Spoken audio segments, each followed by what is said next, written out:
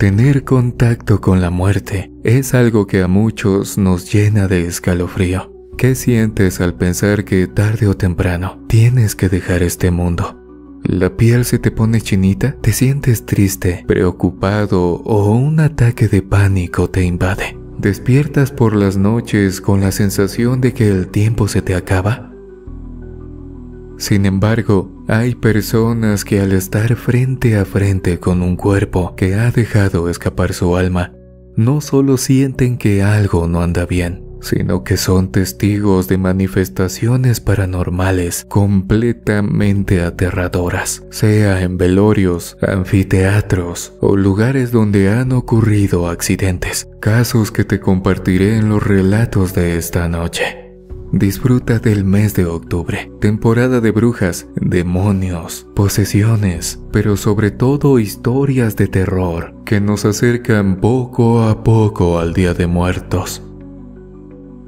Estás escuchando Oscuro Secreto.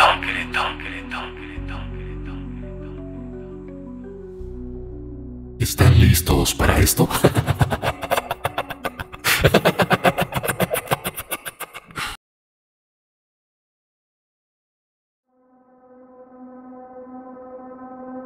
Hola, mi nombre es Gilberto y soy de Sinaloa. Recientemente escuché un relato que me llamó mucho la atención, y no por el tema, sino porque a mi padre y a mí nos pasó algo muy similar, escabroso y hasta cierto punto impactante, pues a pesar de trabajar con la muerte, nos dejó marcados para toda la vida. Estoy a punto de cumplir 85 años, pero lo recuerdo como si fuera ayer. Ya casi no veo, pero mis recuerdos siguen frescos como la mañana. He molestado a mi nieta para poder escribirte y me gustaría que consideraras compartir mi impactante relato. Anteriormente la forma de preparar los cuerpos era muy diferente. Les hablo de los años 1952 aproximadamente. Las creencias y sobre todo la forma de enterrar a una persona no eran nada parecidas a lo que hoy en día se practica. Y lo digo porque mi nieta logró convertirse en tanatopractista y ahora ella junto con mi hijo se encargan del negocio que tanto nos costó hacer crecer. Como ya saben somos de Sinaloa y gracias al universo y a Dios tenemos una cadena de funerarias un poco reconocidas aquí en nuestro estado.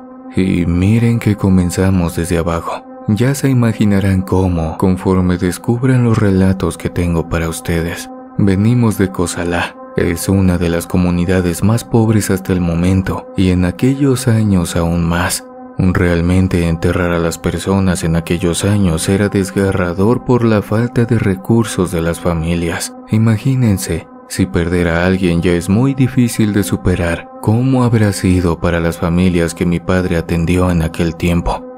Anteriormente la costumbre era que las personas que estaban próximas a morir lo hicieran en sus casas. Cuando tenían un poco de recursos o ahorros, se podían enterrar dentro de enormes ollas de barro, con ofrendas y utensilios que utilizaban los difuntos. Eso me contaba mi padre. Pero lo que me tocó ver era que las familias enterraban a sus muertitos en sus patios, enrollados con una sábana blanca o del color que hubiese en casa, pues no tenían ni un quinto para el funeral. El procedimiento era el siguiente. Cuando una persona ya estaba en cama, muy grave y sin posibilidades de sanar o prácticamente idos por la inanición de los días sin comer, los familiares llamaban al cura para poder darle los santos óleos. Algunos ya ni siquiera reconocían a sus familiares o al padre, otros alcanzaban a confesarse pero algunos ya no. Y una vez que el sacerdote les daba la absolución de cualquier pecado, se marchaba de la casa para que la familia esperara lo peor. Por otro lado, si es que existía una iglesia como tal, se avisaba a través de la campana que se iba a llevar a cabo un servicio funerario y cuando el padre abandonaba la casa del moribundo, la mayoría de las personas salían a esperar a que el sacerdote pasara para poder arrodillarse, rendir respeto a la familia y a la persona que estaba a punto de morir. Cuando finalmente la persona partía, se preparaba una mesita en la casa de los deudos, con la finalidad de colocar el cadáver del difunto y llevar a cabo el servicio funerario. Es aquí donde entraba la labor de mi padre. Para ese tiempo más o menos yo ya tenía entre 10 o 12 años, así que me tocaba ayudar a mi padre en su labor. Era un evento lleno de misticismo y prácticas que hoy en día podrían rayar en la locura, pero que sin embargo mantenía la fe y las creencias de aquellos tiempos, y más cuando cosas muy extrañas pasaban en los funerales o durante la noche mientras los familiares velaban a sus muertos. Recuerdo que lo principal eran las hierbas aromáticas y una especie de resina que era untada sobre todo el cadáver para ahuyentar a las moscas y los malos olores. Después del servicio o la velada, si así lo prefería la familia, era enterrado, y si no, los deudos seguían emborrachándose y despidiéndose de su ser querido. Hubo un caso donde lamentablemente el cuerpo ya comenzaba a inflamarse y por más hierbas o resina que se colocara, el olor ya era muy fuerte. Posteriormente se envolvía en un petate cuando había, y cuando no, con la misma sábana que se había colocado sobre la mesa de madera. Después se escarbaba el agujero y si las familias eran pudientes, se metía al muertito, como les comento, en una especie de vasija con sus preferencias más valiosas. Cuando era el caso contrario, se metía directo a la tierra. Lo que sí no podía faltar era que la dirección en que el difunto tenía que ser enterrado correspondiera al norte, pues en aquellos años se creía que en esa dirección podrían encontrar el paraíso o un renacimiento más rápido. Se tapaba el agujero y la familia decoraba esa zona con lo que pudiera.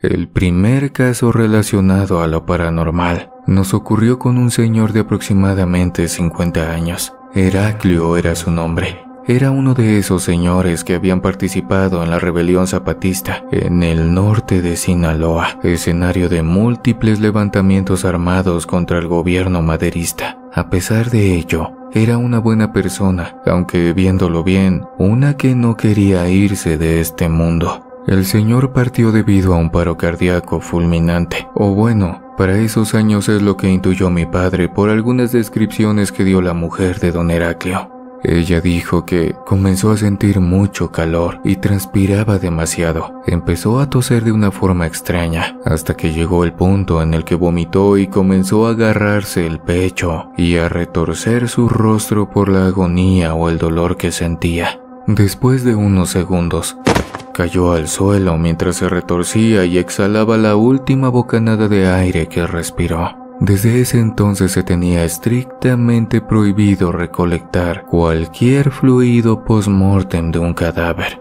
Esas sí eran historias de terror, pues como saben, el cuerpo se relaja y tiende a liberar los esfínteres, eran historias impactantes, y no solo por lo que se contaba que pasaba después de tocar el sudor de un muerto, sino por cómo eran los tratamientos de tanatopraxia. En esos años no había prácticamente nada de tecnología, y el formol llegó a nosotros muchos años después. La gente se curaba con hierbas y prácticamente estábamos a lo que el destino o Dios dijeran. Esa tarde llegó la viuda de aquel hombre devastada, anunciando que su marido había muerto. De inmediato se dio aviso a la parroquia y las avisadoras del pueblo comenzaron con su trabajo. Sin embargo, ¿quién iba a saber que entre aquellas avisadoras estaba la amante de aquel hombre quien lamentablemente tiempo después también padeció a causa de fuerzas inexplicables? Al enterarse mi padre de lo acontecido, era común que de inmediato fuéramos a la casa del difunto para comenzar con las labores de preparación. Antes solo se bañaba el cuerpo, se colocaban las hierbas bajo la mesa acompañadas también con bastante cebolla en rodajas y se untaba la resina para que el cadáver pasara desapercibido para las moscas. En Sinaloa hace mucho calor y como entenderán, los cuerpos no resisten mucho, así que hay que actuar lo más pronto posible, pues como les comento, solo se bañaba, rasuraba en caso de ser hombre, se untaba la resina y se vestía al difunto. Llegamos a la casa y aquel zapatista yacía tirado en la sala. Parecía que aquel hombre había sufrido demasiado, pues tenía un rostro que reflejaba el dolor que sentía antes de morir, y fue imposible que cerrara sus ojos antes de que su alma saliera de su cuerpo. Mi padre le pidió a la viuda que nos esperara en la parte exterior del cuarto o que fuera consiguiendo la mesa donde sería velado. En caso de no tenerla o improvisar una, la iglesia siempre prestaba una para ese tipo de eventos. Así que enseguida salió de su casa y fue rumbo a la parroquia para traerla. Por lo mientras, mi padre y yo intentábamos acomodar el cuerpo del hombre para que le diera un poco menos de temor a quien viniera a verlo. Estaba muerto, pero aún manipulable, encorvado. Su rostro estaba deformado y con la boca abierta, sus ojos hundidos pero abiertos mirando al vacío. Esas pequeñas imágenes que se quedan grabadas en la mente realmente son las que dan miedo cuando uno se acuesta a dormir. Como pudimos lo acomodamos en el suelo. Mi padre cerró sus ojos un par de veces pues los volvía a abrir, pero eso no fue suficiente. Estábamos tratando al parecer con un cuerpo rebelde que no se quería ir o tenía un pendiente muy importante que mantenía su alma en este plano. A lo mejor era el confesarle a su esposa que ya tenía mucho tiempo siéndole infiel con una de las mujeres de la iglesia, la avisadora que les comento. A lo mejor se preguntan por qué ese nombre, pues literalmente eran las mujeres que se encargaban de avisar a la comunidad quién había muerto y en caso de que la familia tuviera recursos, ellas se encargaban de conseguir la caja, mientras la familia realizaba otras tareas para el velorio. Al ver que en repetidas ocasiones los párpados regresaban a su posición, mi padre sacó de su maletín una aguja y un poco de hilo para cosérselos de la mejor forma y poder cerrárselos para siempre.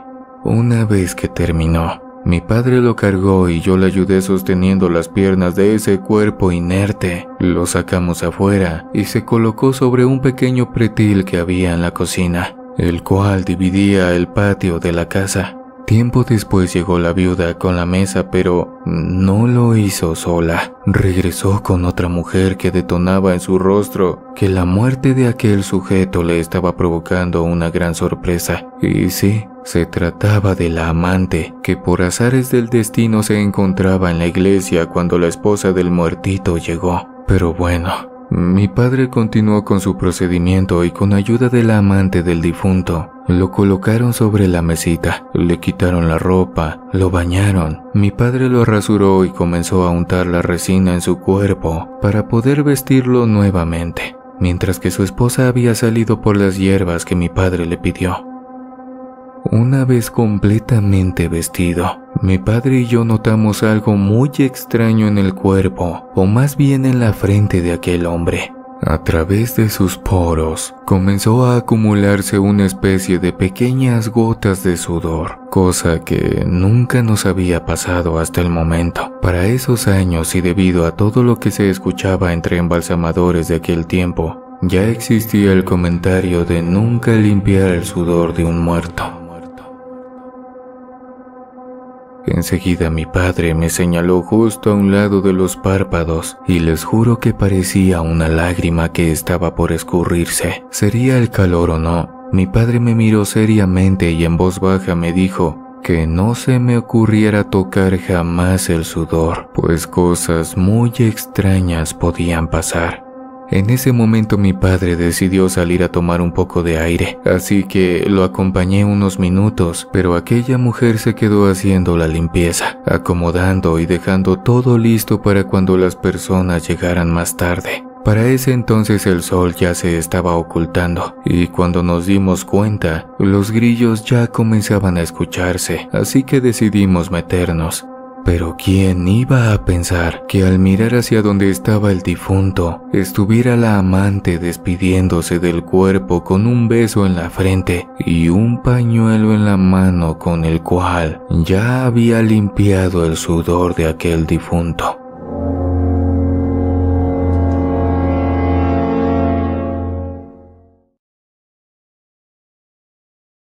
Esa misma reacción que acaban de tener la tuvimos mi padre y yo.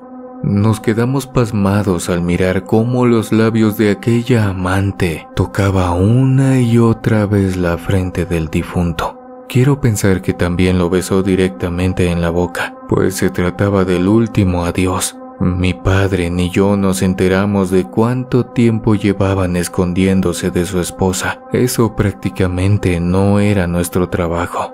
Sin saber qué hacer, mi padre tosió fuertemente como anunciando que estábamos presentes, pero ya era demasiado tarde. Aquella mujer había limpiado una y otra vez el sudor que emanaba del cuerpo de aquel difunto e intuyó que ya nos habíamos dado cuenta del tipo de relación que llevaban, pues de inmediato se acercó a mi padre para rogarle que no dijera nada. Son cosas bastante extrañas que uno aprende en este tipo de trabajo. He visto tantos casos similares que ya perdí la cuenta. Poco a poco la gente se fue arrimando y cuando menos nos dimos cuenta, ya habían alrededor de 10 personas esperando a que la viuda llegara con el padre para oficiar una pequeña misa y comenzar con el velorio. Tiempo después se hicieron presentes, encendieron unas veladoras y el servicio comenzó.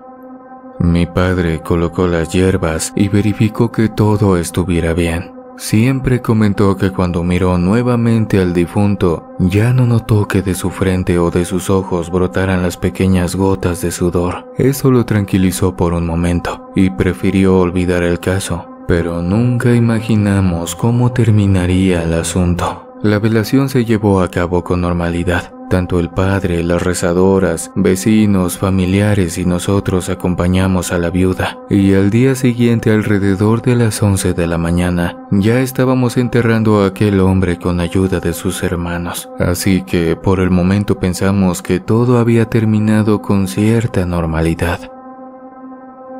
Habrán pasado un par de días cuando en la misa dominical el padre pidió por la salud de la integrante de las avisadoras, es decir, por la amante de aquel hombre que había muerto. Las pláticas entre la gente comentaban que tenía terrores nocturnos, alucinaba al difunto y decía que en repetidas ocasiones gritaba porque lo veía a los pies de su cama.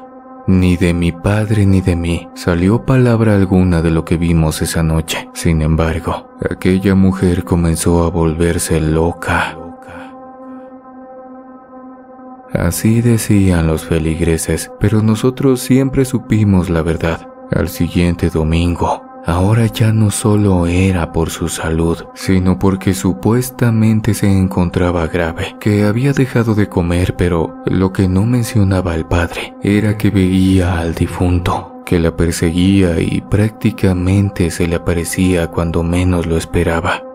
Lo que nos contó mi madre era que el padre la frecuentaba para platicar con ella, confesarla o liberarla de cierta forma, pero lo que decía era prácticamente increíble y nunca había pasado en la comunidad. Lo que sí nos parece hasta cierto punto escalofriante es lo que comentó una de las hermanas de la amante, y fue que desde que esta mujer acudió al velorio de don Heraclio, su casa ya no fue la misma, se sentía pesada y una de ellas también ya se encontraba espantada, pues la primera ocasión después de regresar de la feria del pueblo, justo al abrir el portón de alambre, observó hacia adentro de su casa y miró a alguien moviéndose en la mecedora de la abuela.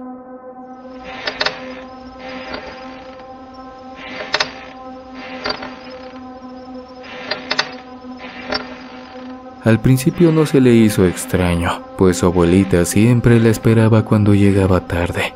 Cerró el portón y caminó hacia la supuesta abuela. Le tocó el hombro y cuando le dijo, ya vámonos a dormir, ya llegué, aquel cuerpo se desvaneció.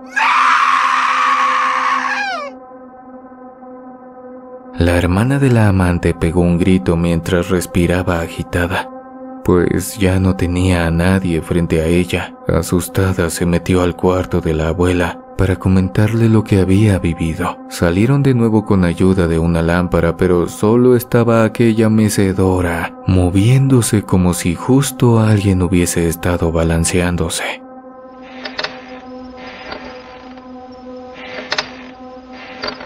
Lo único que hizo la abuela en ese momento fue rezar un Padre Nuestro, repitiendo, La sangre de Cristo tiene poder, así que te reprendo, demonio. Aquí no tienes lugar ni cabida. Le dio una pequeña limpia a la muchacha y le jaló fuertemente las orejas hasta que tronaron para sacarle el susto. La segunda ocasión menciona a la hermana de la amante, que antes de irse a acostar, vio la forma de un hombre muy parecido al difunto que se metió al cuarto de su hermana. Aceleró el paso para alcanzarlo pensando que se trataba de un intruso en la casa, pero cuando llegó al cuarto de su hermana ya no había nada solo su hermana con bastante fiebre. Así fueron avanzando este tipo de avistamientos hasta que la amante decía que Heraclio no se iba. Todas las noches se sentaba en su cama a un lado de ella o estaba parado en sus pies. La verdad es que mi padre nunca le dijo a mi madre o a mis hermanos lo que en realidad había pasado hasta muchos años después en una cena familiar. Y claro, cuando ya no vivíamos ahí. Toda la comunidad pensaba que la amante, así como le he dicho para omitir nombres, estaba loca. O el fallecimiento de Heraclio le había afectado mucho. Existieron miles de preguntas, que si había ayudado a preparar el cuerpo, que si lo había bañado, que si había tenido contacto con él, etc. Muchas preguntas que llegaban a oídos de mi padre, pero prefirió no meterse en problemas. Habrá pasado alrededor de un mes después del fallecimiento de Heraclio, cuando tocaron la tonada en la campana que significaba que alguien había muerto. Y sí, en efecto, minutos después ya estaba la anciana que cuidaba a aquellas muchachas, con mi padre pidiéndole ayuda para llevar a cabo el servicio de su nieta, que se había suspendido de un árbol que se encontraba en su patio.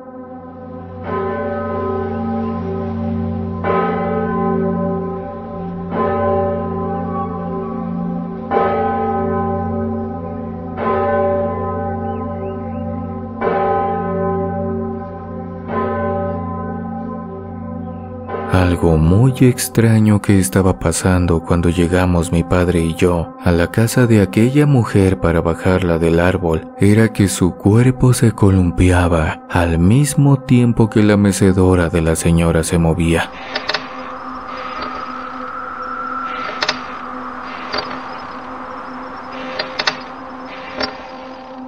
Con cuidado y con ayuda, lograron bajarla y retirar el lazo que terminó por fracturar su cuello. La colocaron en su pasillo y nuevamente se repitió el procedimiento, colocándola en la misma mesita donde se despidió de su amado. ¿Quién sabe qué cosas escalofriantes o espeluznantes tuvo que vivir para llegar a esa decisión? Tal vez tristeza, pánico o mucho miedo. Desde esa edad sé que nunca debes tocar el sudor del muerto. Y hasta la fecha sé que es cierto. Son cosas que no se mencionan mucho, pero que pueden llevarse a las personas o volverlas locas para siempre. Por otro lado, quiero pensar que por algo pasan las cosas. A lo mejor la esposa hubiera hecho lo mismo con el dolor que sentía y a quien se hubiese llevado fuese a ella, pero no, la amante le ganó a despedirse del difunto y sufrió las consecuencias. Muchas gracias por contar mi historia. Que tengan una linda noche.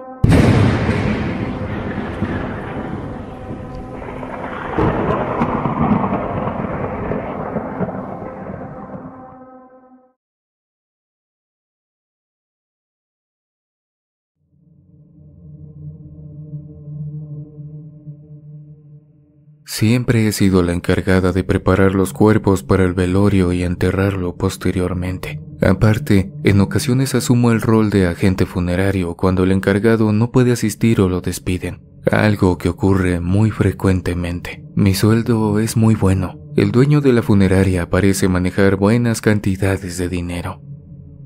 En ocasiones mi compañero me decía que tal vez hacía cosas referentes al lavado y de ese modo se mantiene fuera del radar. Eso no sonaba descabellado para mí. El dueño era un hombre muy inteligente, cauteloso y cuidadoso. Aparte que dejaba conocer su ambición por tener los bolsillos repletos de billetes. De todos modos, nosotros solo somos simples trabajadores, así que siempre hemos estado tranquilos de que en algún momento se descubra algo. Muchas veces llegué a pensar que mi compañero solo estaba celoso de que mi sueldo fuera muchísimo mejor que el de él. Por descuido un día se lo conté. Después de todo, era mi amante en secreto. Salimos muchos fines de semana y les inventábamos cualquier cosa a nuestras parejas en ese momento. Tal vez estuvo mal, no me puedo excusar diciendo que muchas personas lo hacen sin recibir algún castigo por eso. Siempre fui creyente y en ocasiones le pedía perdón a Dios. Sé que suena muy hipócrita de mi parte, pero era lo que me hacía feliz y no le iba a decir que no a un poco de diversión. Muchas veces lo hablé con Jaime, mi compañero y amante. Ambos estábamos de acuerdo en que podíamos seguir siéndolo sin que nadie se diera cuenta. El único que pudo tener conocimiento de algo fue nuestro jefe y dueño de la funeraria, pero éramos sus consentidos. Nunca se atrevió a decir algo, y él conocía claramente a nuestras parejas. En Navidad siempre se armaba una hermosa cena en su lujosa casa y ahí compartíamos todos. Me encargué de tener una buena relación con él y nunca intentó faltarme el respeto ni nada por el estilo. Siempre fue demasiado respetuoso y es algo que siempre le admiré. Mi pareja, por otro lado, es doctor. Ambos vivíamos bien, en un apartamento en una zona muy buena de la ciudad, se podría decir de las mejores. Nunca sentí remordimiento por lo que hacía a su espalda. No sé si eso se puede considerar una cualidad de una mala persona, pero debo ser sincera. Quiero compartir estos detalles de mi vida porque honestamente ya no sé qué me puede quedar de valor actualmente. Las cosas comenzaron a cambiar el día en que llegó a la funeraria. El cadáver de un chico muy apuesto. Ni siquiera parecía que estuviera muerto. Mantuvo su belleza hasta el final. Incluso Jaime lo mencionó. Era la primera vez que nos tocaba preparar un cuerpo así, e hicimos nuestro mejor trabajo. El jefe me pidió que estuviera presente en ese velorio porque el encargado de gestionar todo era nuevo y aparentemente muy novato. Todos odiábamos que las cosas salieran mal, aparte que debíamos dejar una buena impresión e imagen en todo momento. Así lo hice y gracias a Dios todo salió bien. Cuando la gente ya se estaba marchando, una mujer se acercó a mí para despedirse y agradecerme por todo lo que hicimos y lo bien que preparamos el lugar. Mencionó que yo era muy linda y entonces sacó un collar de su bolsillo insistiendo en que se lo recibiera, supuestamente porque mi belleza debía ir acompañada de una buena joyería.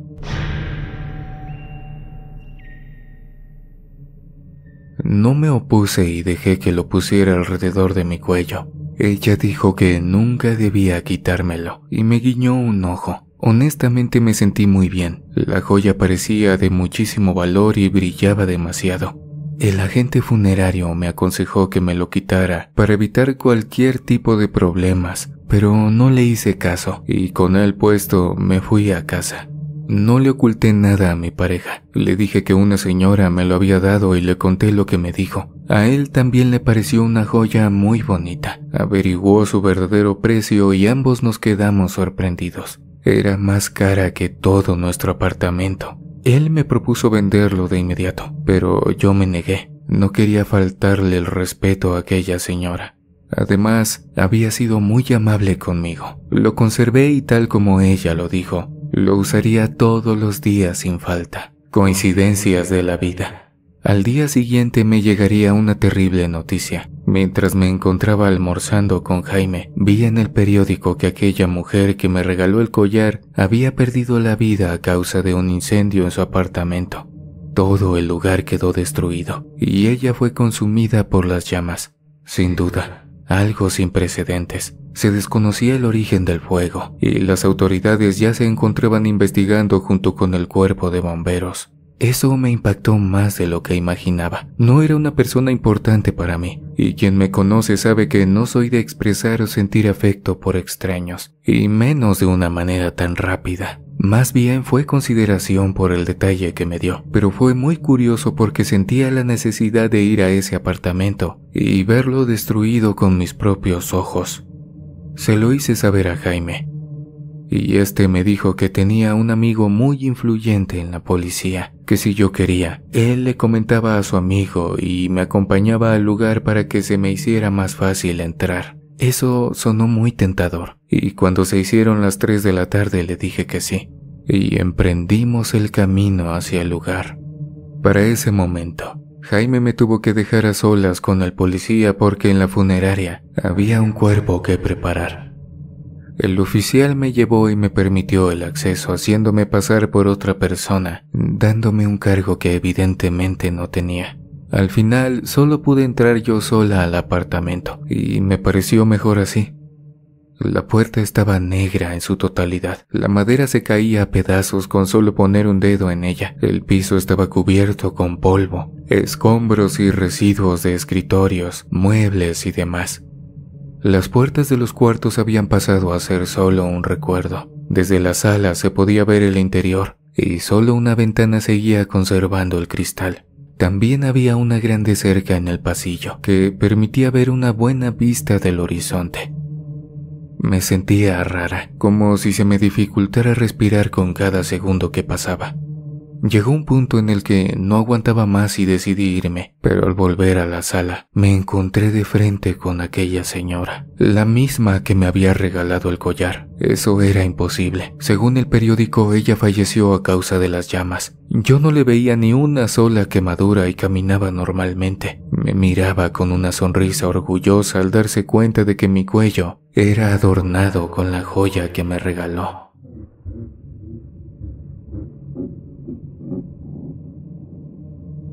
Y lo que a continuación comentó me dejó helada.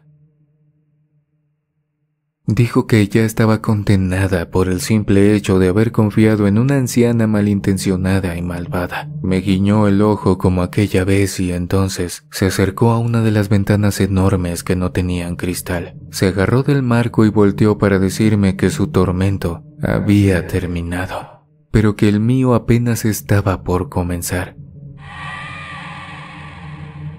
Después de eso se lanzó de un séptimo piso y corrí para verla.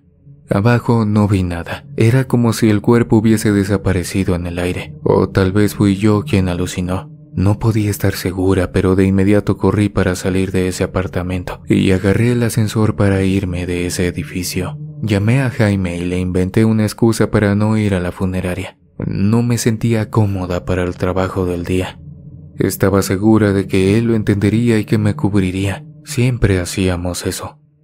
Mi esposo tenía el turno de noche, así que no lo encontré en casa cuando regresé. De inmediato me bañé y curiosamente no me quité el collar para nada. La verdad es que ni siquiera me daban ganas, y eso despertó en mí una corazonada de que algo muy raro me estaba pasando.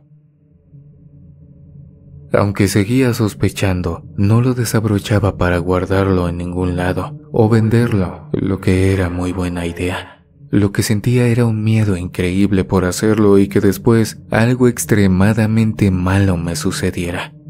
Nunca había tenido contacto con lo paranormal, pero siempre he respetado este tipo de cosas.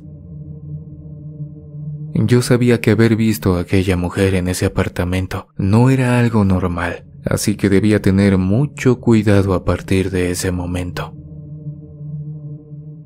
Al día siguiente fui al trabajo. El cuerpo que Jaime trabajó ya estaba listo y el velorio sería esa misma noche. Le agradecí y me dijo que no había ningún problema, pues ya sabía cómo le pagaría ese favor. Y es mejor no dar tantos detalles sobre eso, pero yo sé que ustedes se lo imaginan.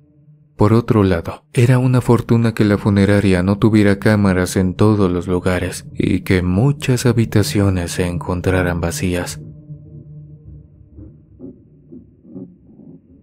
Curiosamente, mi jefe me dijo que asistiera al velorio, ya que era costumbre que yo estuviera en casi todos, era muy perfeccionista en cuanto a la administración y organización. Siempre fui muy buena para los detalles. Y aparte, nunca me agradó que las cosas salieran mal. Ni me gustaba improvisar. Además, me especializaba en que las personas vieran lo bien que se trató el cuerpo y que todo estuviera en perfectas condiciones para la comodidad de los asistentes.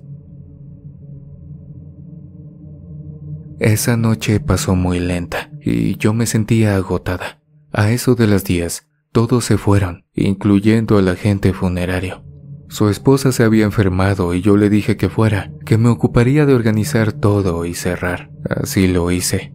Ya solo faltaba asegurar las ventanas, pero fue cuando pasó.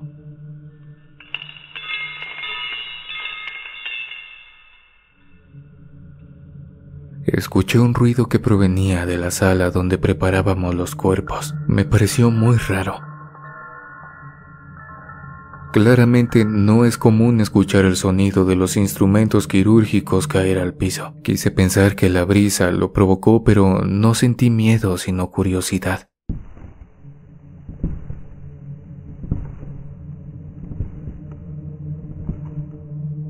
Fui a la sala y confirmé lo que creí. Recogí todo y lo aseguré, pero ahí no terminaron las cosas. A mi espalda se escuchaba una respiración agitada. Era una persona, de eso no tenía duda. Al voltear la mirada me encontré con aquel chico apuesto, el que me hizo pensar que incluso después de su partida conservó su belleza. No pude dejar de pensar en aquella señora que me dio el collar. Si lo recuerdan, ella era pariente de ese chico abuela o yo qué sé. Esos datos los sabía el agente funerario, no yo. Creí que era nuevamente una alucinación como ocurrió con la señora, pero el chico movía las mesas. Caminaba como si estuviese borracho, solo tenía la ropa interior y parecía que le costaba mucho mantenerse de pie. Cuando me vio lo primero que hizo fue preguntarme dónde estaba qué había pasado y quién era yo. Estaba desorientado, pero nada tenía sentido. Se suponía que ya lo habíamos velado y claramente sepultado en el cementerio. Era claro que no debía estar delante de mí haciéndome esas preguntas desesperadamente.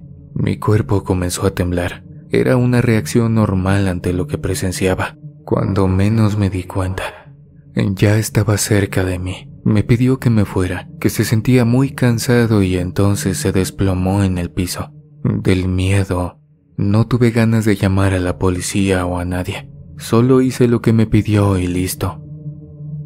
Para ese momento tuve una ligera sospecha de que solo yo podía verlos. No puedo explicar por qué se sentía eso. Era como algo natural en mí, que había nacido solo porque sí.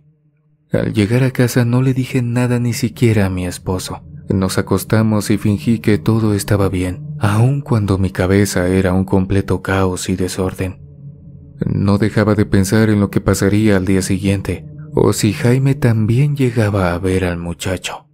Sinceramente, no sé cómo pude conciliar el sueño de una manera tan placentera, pero también creo que la compañía de mi esposo siempre fue mi refugio y mi calma incluso en momentos como ese.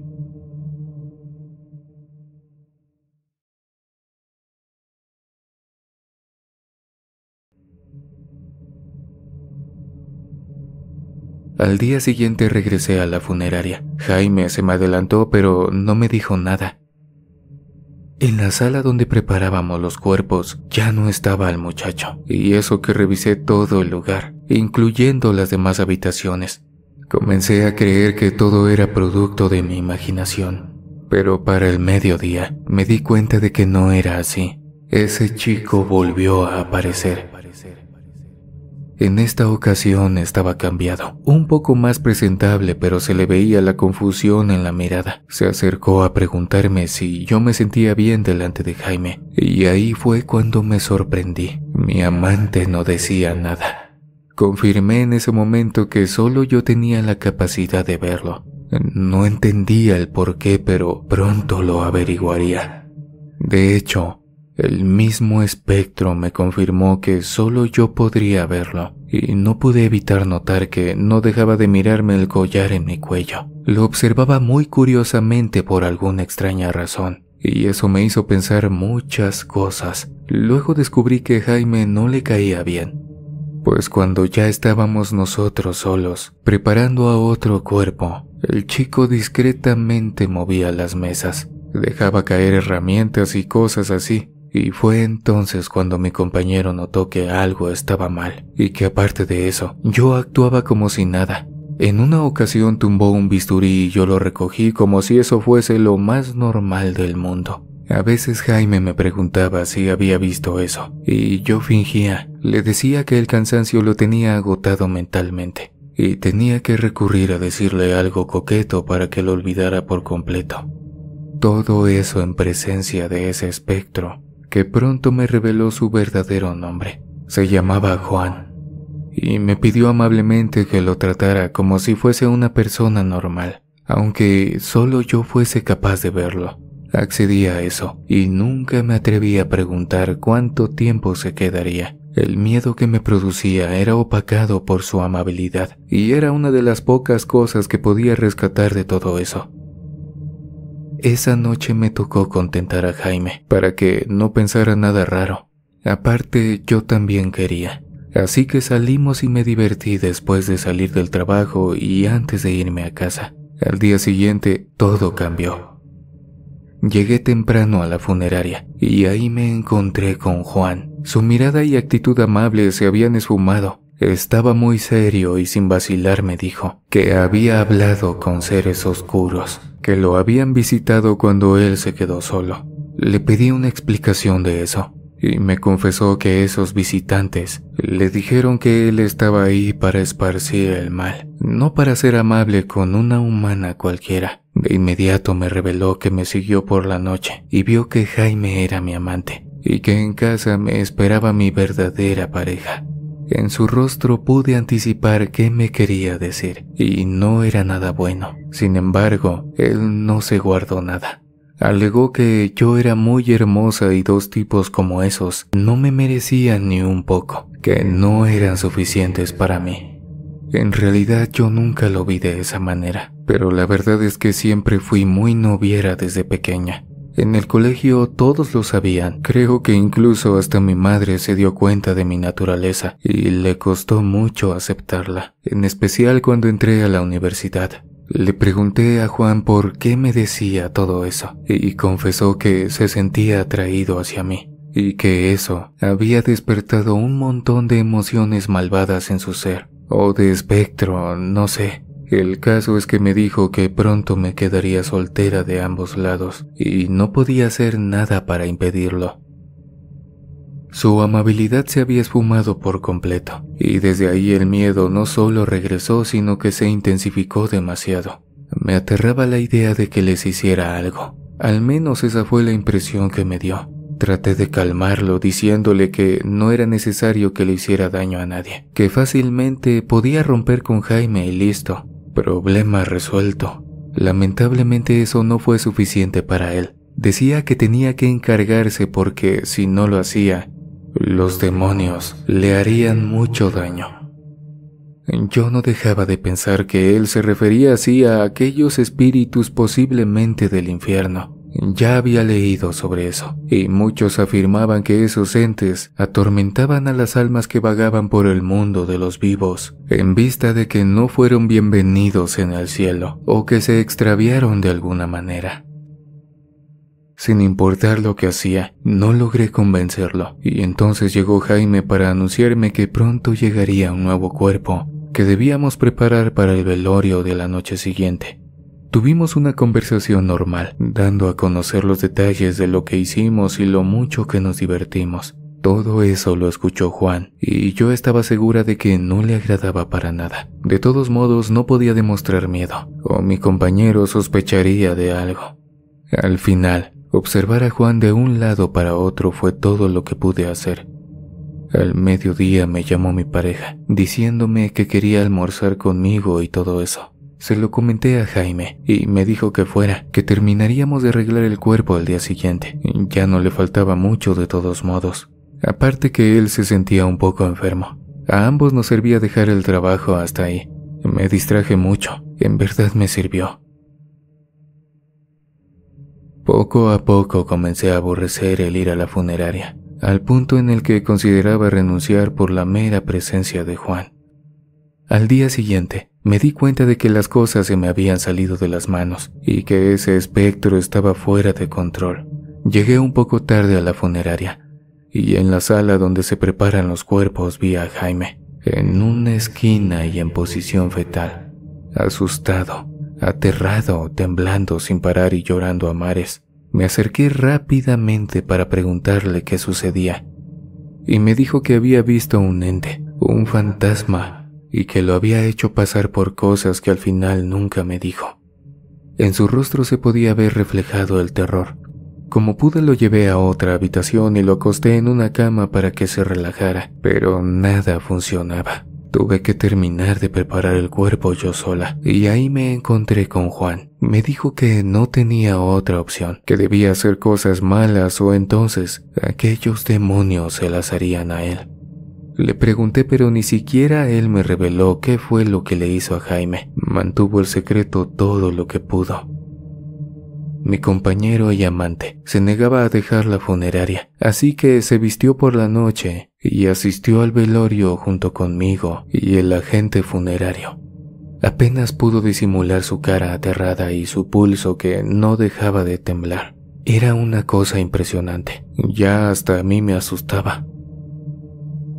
Cuando el funeral terminó, tuve que hacer maravillas para que se fuera a su casa. En verdad pretendía quedarse ahí. Al parecer tenía miedo de que el mal lo acompañara y de ese modo conociera a su familia. Hasta donde yo sabía, él vivía con su madre, hermano y esposa. Para ese momento yo no sabía de lo que Juan era capaz de hacer. A mí no me había demostrado toda su maldad, y subestimarlo fue un error que me salió demasiado caro.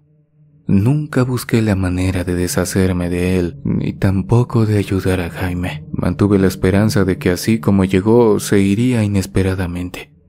Al final mi compañero se marchó y me avisó en cuanto llegó a su casa. Yo me quedé cerrando la funeraria con el agente, quien me acompañó para que no estuviera sola, pero ni siquiera él se salvó de ser asustado.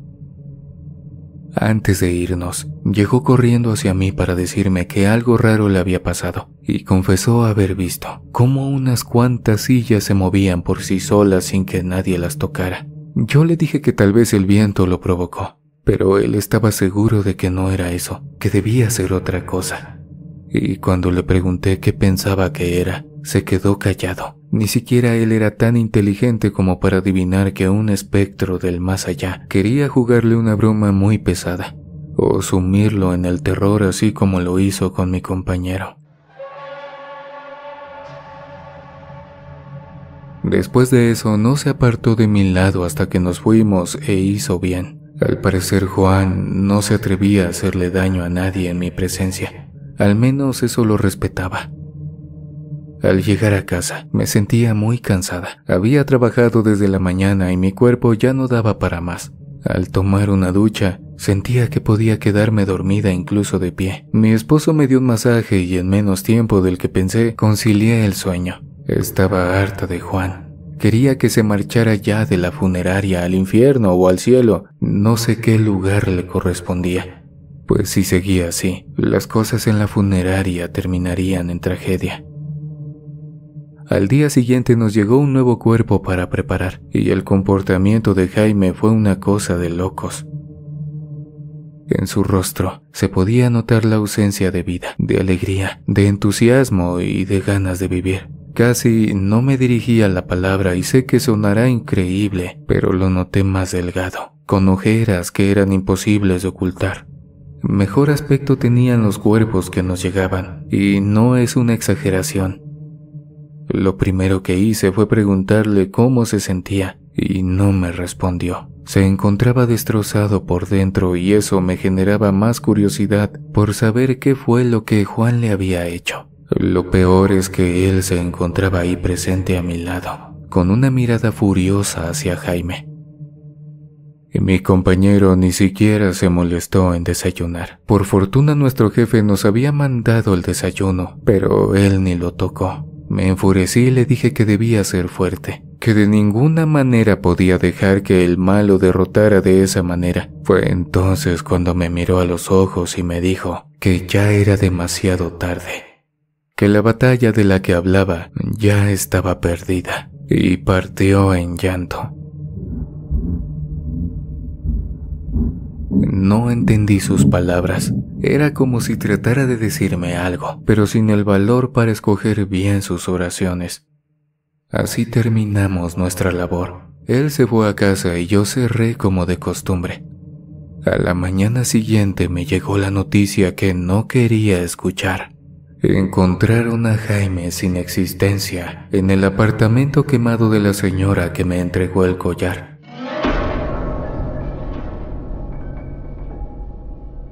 No tenía sentido. Él no debía estar ahí. Nadie dio una explicación de nada, ni siquiera su familia, y menos aún las autoridades. Fueron unos vecinos los que llamaron a la policía al verlo entrar en ese lugar destruido y consumido por el fuego de varios días atrás. Cuando estos llegaron, encontraron su cuerpo.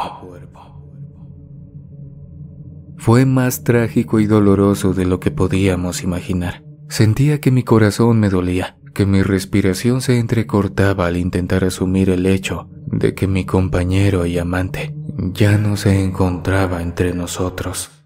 Cuando regresé a la funeraria, me encontré con Juan, pero su aspecto ya no era el mismo. Su cuerpo se estaba descomponiendo y el olor a podrido se hacía insoportable. Además, se le veía más débil que antes. Me dijo que tenía que darse prisa, que todavía le quedaba una víctima, o entonces el que la pasaría mal sería él. Yo traté de convencerlo de que dejara esas cosas, que no era su deber esparcir el mal ni quitarles la existencia a otras personas. Esa fue la primera vez que lo vi llorar. No sé si estaba arrepentido o qué, pero se sumió en una tristeza por la cual yo no sentí empatía. Tal vez sí llegué a amar a Jaime después de todo, y por eso me dolía, cosa muy diferente con Juan. No me importaba que tuviera la apariencia de un chico joven y apuesto. Para ese momento su cabello se estaba cayendo a pedazos, y no soportaba estar a su lado por la peste. Ese fue el peor día de todo mi trabajo. La pudrición de su cuerpo dejó con mal olor a toda la funeraria, y de inmediato se lo notifiqué a mi jefe quien acudió en persona para corroborar qué era lo que pasaba. Él mismo decretó que por ningún motivo podíamos hacer el velorio ahí, Así que habló con unos colegas y pasamos el cuerpo de Jaime y lo preparamos para otra funeraria. Allá otras personas se encargarían de su cuerpo, mientras un equipo de sanidad buscaba el origen de aquella pestilencia. Al final no encontraron nada. Era imposible que lo hicieran. El jefe decretó que el lugar quedaría cerrado por dos días hasta averiguar qué era eso. En ese lapso de tiempo, su siguiente y última víctima era nada más y nada menos que mi esposo, pues lo encontraron sin existencia en su oficina de la clínica. Nadie sabe qué pasó, y en la autopsia se reveló que la causa de fallecimiento había sido un repentino ataque al corazón. Eso no tenía sentido. Era una persona sana, hacía ejercicio y todo eso. Además, se hacía chequeos constantemente.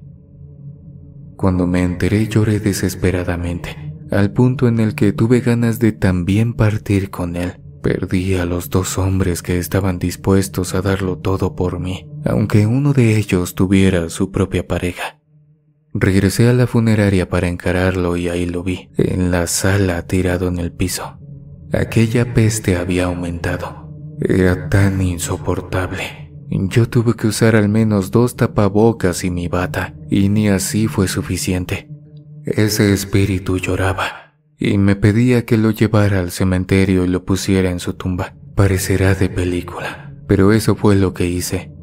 Lo subí en la parte trasera de mi carro como pude, y al llegar al cementerio, lo bajé para que caminara aunque lo hacía con dificultad. Conté con la suerte de que estaba solo. Lo puse al lado de la tumba del verdadero Juan y ese espíritu ahí desapareció, como si la tierra se lo hubiese tragado.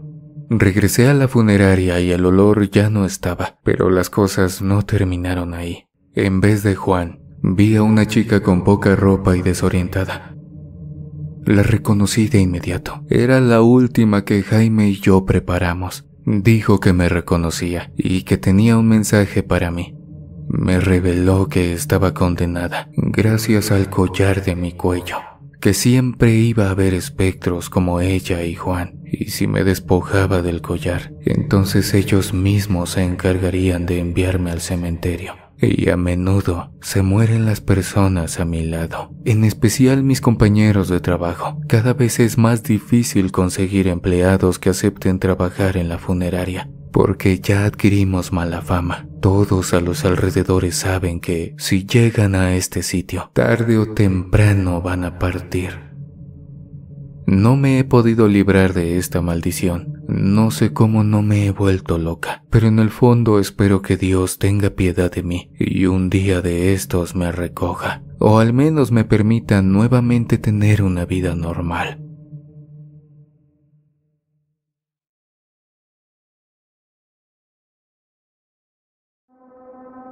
Mi nombre es Luis y desde muy joven me interesó la medicina forense de modo que estudié y me especialicé en esa rama. A los 28 años, después de innumerables obstáculos, me titulé como médico forense y entré a trabajar en una morgue adscrita al gobierno municipal. Ahí recibíamos todo tipo de cadáveres. Por ejemplo, algunos con decesos comunes, como alguien que falleció por infarto agudo al miocardio y no sufrió en lo más mínimo. Asimismo, también llegaban cuerpos con diferentes signos, como golpes y moretones, o víctimas con impactos de bala, fracturas y mutilaciones. Dado que el rubro me interesaba muchísimo, trabajé con las personas que llegaron a la mesa sin importar cuáles fueron las circunstancias en las que murieron. Llegó el día en que recibimos a un señor de aproximadamente 70 años, el cual fue recogido por la mañana en una plaza local después de que se desplomara repentinamente. Sufrió un infarto fulminante y los paramédicos no pudieron hacer nada por él. Para más problemas, entre sus cosas no llevaba un solo documento a través del cual se pudiera identificar. Tampoco contaba con un teléfono celular al cual su gente lo intentara contactar. No supimos si se lo robaron o nunca llevó consigo uno.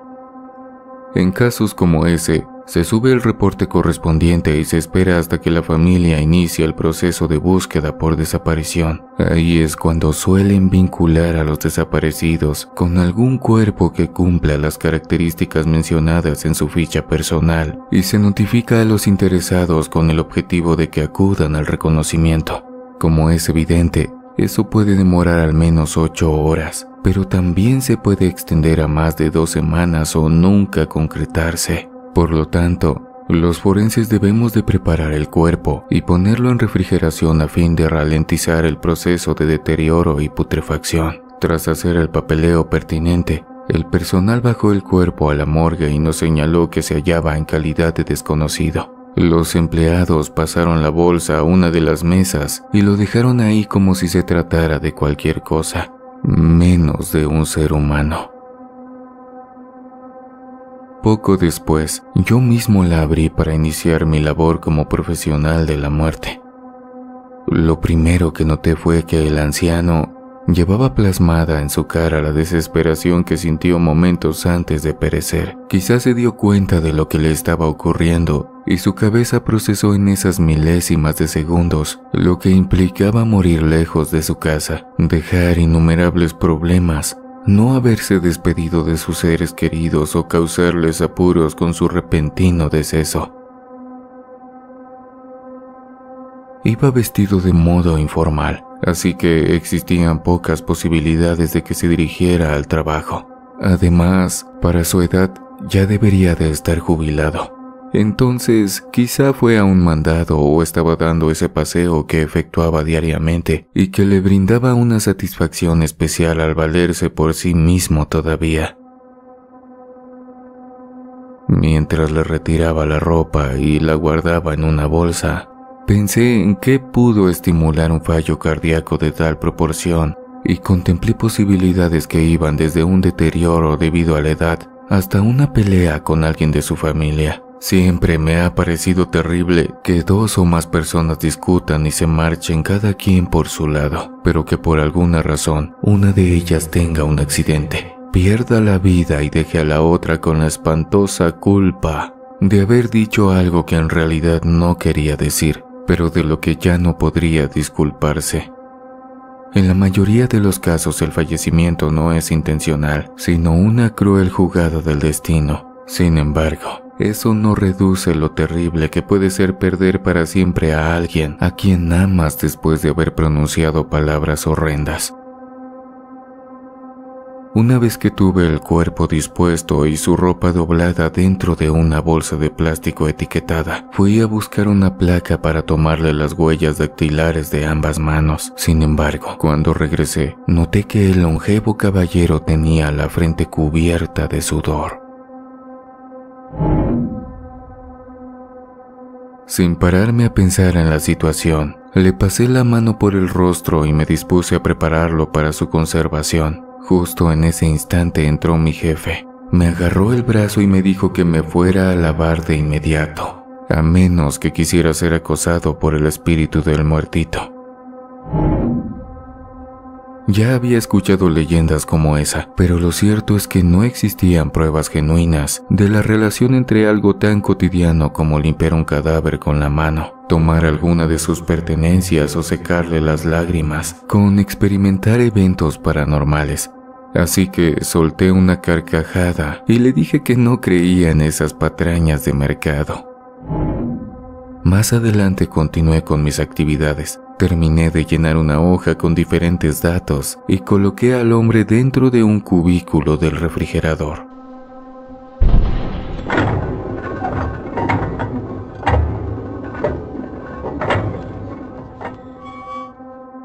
En punto de las 8 de la noche, salí de la morgue, me monté en mi preciada moto y volví a mi casa. Todavía vivía con mis padres, así que llegué a mi hogar. Saludé a mamá y me senté a la mesa para cenar. Desde que terminé mi jornada, no pensé en absolutamente nada raro, pero esa noche empecé a tener sueños extraños, los cuales asocié con una parálisis del sueño ya que percibía mi habitación tal como es en realidad. Sin embargo, en ella flotaba una espesa bruma negra y yo no podía moverme ni hablar. Me mantuve a la espera durante un rato. Luego vi que el humo oscuro se estaba reuniendo en una esquina y fue tomando la forma de una persona.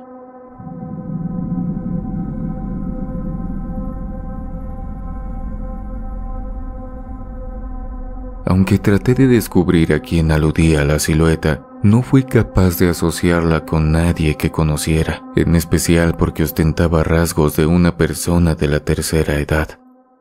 Durante esa extraña pesadilla, podía oír muy bien los sonidos que se generaban en mi cuarto y empecé a escuchar un crujido desagradable.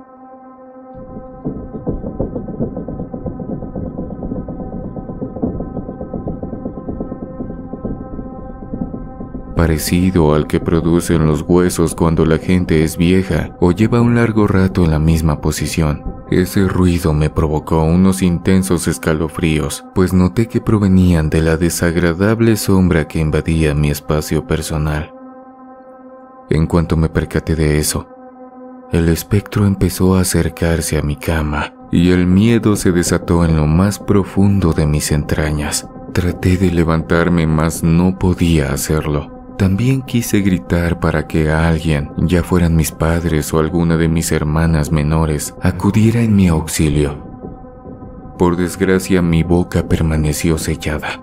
Con pasos vacilantes e ignorando la desesperación que me consumía, el macabro intruso continuó moviéndose de manera lenta y emitiendo sus escabrosos ruidos los cuales ahora también me resultaban nauseabundos a extremos insospechados.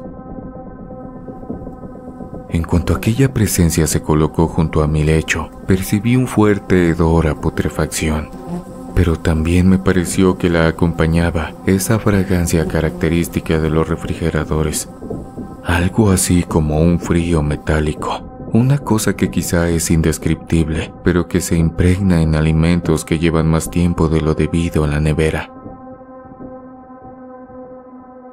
Esas circunstancias me sacaron de la lúgubre ensoñación. pues supe que el acoso provenía del trabajo que desempeñaba día a día. Traté de apretar los puños en señal de molestia y saqué coraje desde el fondo de mi pecho. Luego balbuceé todos los insultos que me llegaron a la cabeza. De ese modo mis labios se separaron y logré que mis palabras resonaran en la habitación. El sonido de mi voz consiguió sacarme de la pesadilla y aunque tenía el corazón desbocado, pude ver que me hallaba solo. No había nadie más en ese cuarto en el que dejé la niñez, donde me convertí en adolescente y en el cual más tarde inicié mi adultez.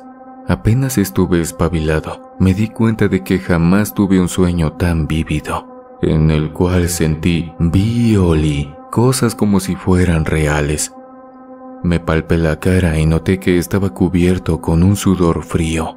La tranquilidad que trae consigo el amanecer y la luz diurna fueron disipando mis miedos y después de un largo baño, me alisté para salir e ir a trabajar una vez más.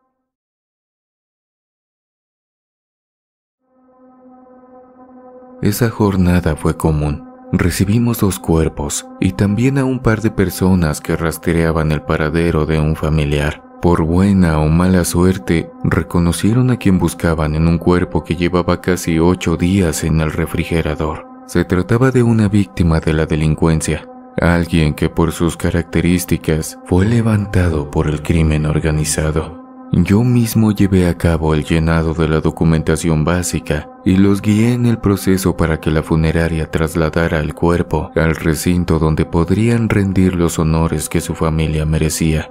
En algunos momentos, los visitantes lloraban con tal dolor que hasta a mí se me inundaban los ojos, pero mantuve la compostura. Me dolió enterarme de que el muchacho fue usado como rehén y cuando ya no lo necesitaron, le colocaron un proyectil en la frente y lo arrojaron a un campo baldío en el que tardaron muchos días en encontrarlo.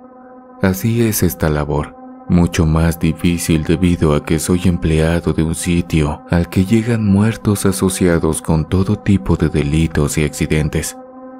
Tuve varios días y noches sin novedad, pero un viernes, después del trabajo, me pasé a tomar un trago con mis amigos. Llegué a casa algo entonado y en cuanto me metí a la cama, empecé a percibir algo muy raro.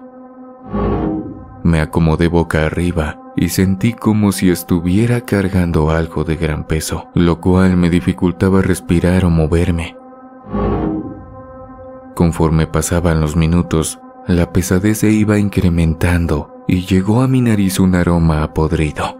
La luz de mi habitación estaba apagada, pero mi familia aún andaba despierta y se filtraba la luminosidad de los pasillos, así que podía ver perfectamente que no tenía nada encima de mí. De pronto, noté un extraño hundimiento en la cama.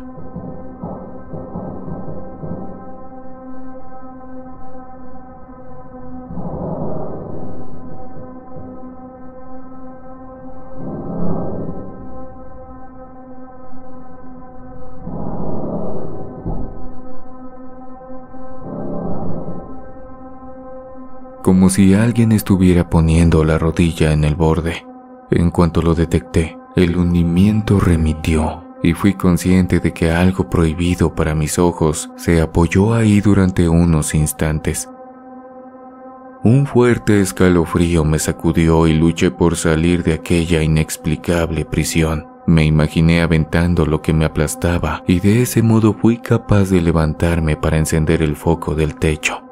En cuanto accioné el interruptor, constaté que me hallaba solo, pero las cosas a mi alrededor se tornaron anormales. Durante varios minutos, por el rabillo del ojo detecté que una sombra me acechaba y escuché murmullos ininteligibles. Tras calmarme, me bañé y regresé a la cama. Eran las 10 de la noche. La borrachera se me bajó, pero un cansancio intenso me dominó a tal grado de que ni siquiera soñé. Me levanté a las nueve de la mañana y fui al baño. Gracias al espejo que se ubica frente al lavabo, Vi que tenía los ojos rodeados por unas ojeras pronunciadas. Dormí once horas, pero me veía tan agotado como alguien que no ha reposado bien en muchos días. El cuerpo también lo sentía cansado. Las manos me pesaban y tenía un incómodo dolor en las articulaciones. Me metí a la regadera y usé el agua lo más caliente que pude. Pensé que el malestar se asociaba con las cervezas frías del día anterior y que solo se trataba de un resfriado. Mi mamá también notó el repentino cambio, pero apoyó mi deducción y me preparó un té de limón con mucha miel. En el trabajo desarrollé mis labores con lentitud. No podía mover los brazos con soltura y tampoco fui capaz de transportar un cuerpo de la mesa a la camilla que usábamos para meterlos en los cubículos de refrigeración puesto que la morgue era un sitio que siempre estaba gélido. Creí que las incomodidades se debían a que mi resfriado se estaba agravando con la baja temperatura, ya que no quería que me mandaran a descanso ni que me descontaran vacaciones. Me hice de la vista gorda con unos papeles pendientes y saqué la tarde como pude. Al siguiente día era mi descanso, por lo tanto me dedicaría a reponerme. El problema fue que no tuve mejoría. Al contrario, mi cansancio aumentó y empecé a perder el apetito. Algo inexplicable me estaba pasando y no lograba comprender de qué se trataba. El lunes que debía de regresar a la morgue, me encontraba tan indispuesto que tuve que llamar a recursos humanos y solicitar un permiso para acudir al médico. Me atendí en el Seguro Social y aunque esperé por horas para una consulta, el médico no resolvió nada. Me revisó de pies a cabeza sin encontrar la razón de mi lamentable estado. Solo me ordenó reposo, vitaminas y analgésicos.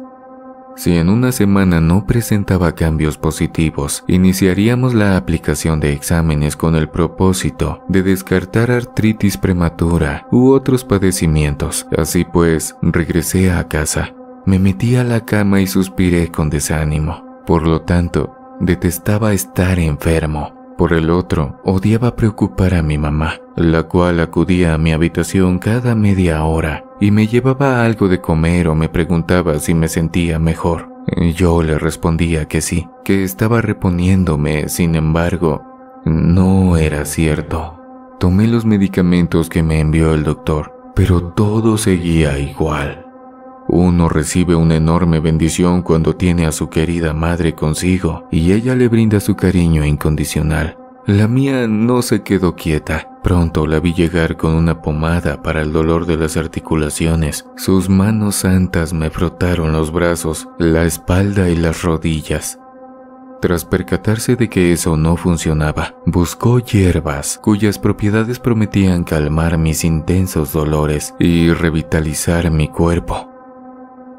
Me imagino que al estar comprando esas plantas, fue como se enteró de una señora que atendía casos especiales, extraños e inexplicables, pues unos días después tocaron la puerta de la casa y recibió a una desconocida. La visitante acudió a mi cuarto momentos más tarde y se presentó como Amanda, una bruja blanca. La señora me pidió que le contara qué sentía, si había tenido malos sueños o visto cosas raras. De inmediato le relaté mis pesadillas y lo que me ocurrió tras beber un poco. Fui tan descriptivo como pude, y no sé por qué, pero me aferré a esa mujer. La vi como si se tratara de mi salvación. Una vez que terminé mi relato, la señora sacó un huevo de gallina y lo pasó por todo mi cuerpo. Enseguida le pidió a mi mamá un plato y lo rompió en él. Al quebrarse, el cascarón vertió su contenido totalmente revuelto y emanó un fuerte aroma a putrefacción. Mi mente recordó de inmediato ese olor. Se trataba del mismo que advertí durante la primera pesadilla que tuve. Era repugnante metálico y mezclado con el que dejan los refrigeradores. Doña Amanda me tomó la mano para reconfortarme. Luego me preguntó en qué trabajaba y le conté que laboraba como médico forense en una morgue gubernamental. Acto seguido, se giró. Miró el huevo y sonrió. Sus palabras fueron las siguientes. Te cargaste a un muerto. Ella no dijo que un muerto me estaba persiguiendo o que me acosaba debido a mi profesión. Solo señaló que yo mismo causé mi infortunio y se tomó un momento para observar el plato que yacía entre sus manos. Yo me encontraba anonadado. No lo podía creer. No pude evitar que mis ojos se llenaran de lágrimas causadas por la indignación y el miedo.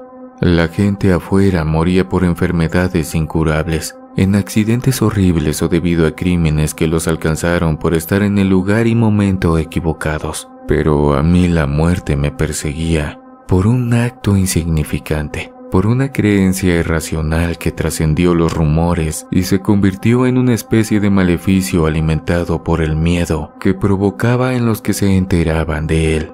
Como si leyera mis pensamientos, la señora Amanda sonrió y me dijo, no se puede saber por qué pasan estas cosas, sin embargo ocurren. A lo mejor le sucedió lo mismo a alguien hace mucho tiempo. Otra persona lo notó y les pasó ese conocimiento a las generaciones venideras. Pudiste mover el cadáver sin cuidado. Quizá un aspecto de él te pareció gracioso, o a lo mejor tomaste alguna cosa que llevaba, o limpiaste algo en su cuerpo que no te correspondía.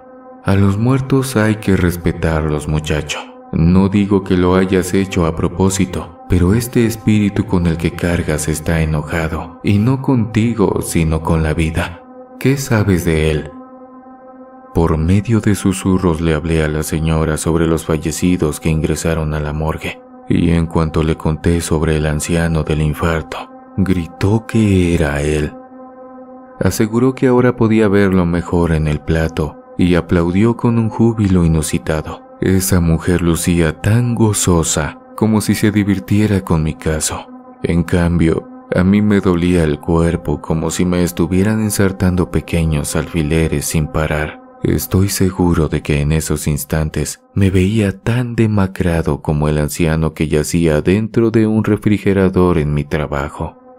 Yo me encontraba envuelto en una oscuridad tan espantosa y doña Amanda brillaba de una forma maravillosa. Poseía una luz que le atribuyó el destino, la cual le permitía comprender cosas que otras personas no lograban siquiera considerar. Esa luminosidad bendita fue la que me permitió volver al camino y fui capaz de seguir el fulgor de su alegría. Tras ese milagroso momento, le tomé una mano y le pedí que me ayudara. Ella solo estaba esperando que pronunciara las palabras adecuadas, ya que se levantó y fue por una bolsa que dejó afuera de mi habitación. Regresó y sacó varios montones de pétalos blancos que esparció sobre mi cama. Enseguida colocó seis veladoras, pero las puso al revés, es decir, en lugar de encender el pabilo como es común, les dio la vuelta y les retiró la laminilla del fondo a fin de que se quemaran de manera invertida. Puso dos al lado de mi cabeza, una a la izquierda y otra a la derecha. Otro par lo colocó en el piso, a la altura de mi estómago. La quinta la acomodó en mis pies y la sexta, alejada, junto a la ventana. Minutos adelante, el aroma de la cera inundó mi cuarto y se unió a los rezos de la mujer, la cual también extrajo unos ramos de hierbas y los usó para darme una potente limpia.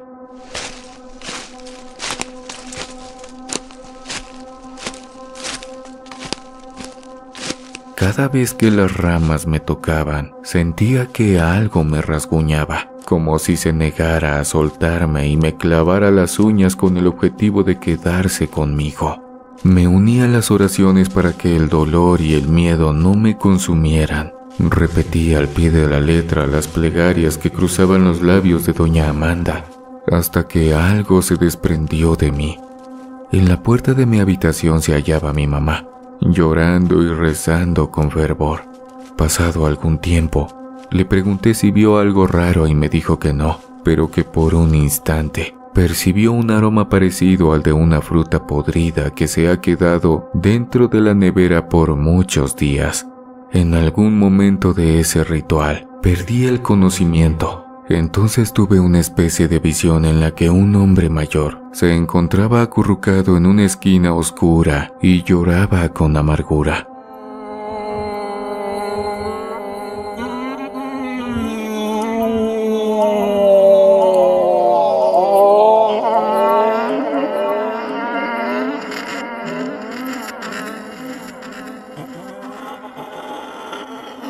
Al verlo, el corazón se me hizo pequeño. Me acerqué con lentitud a él y le dije que si necesitaba algo o que si podía ayudarle para que se sintiera mejor. En ningún momento pude ver su rostro debido a la penumbra que lo envolvía, pero escuché sus palabras. Dile a mi familia que no fue intencional, que los amo y que lo que necesitan está en el libro azul.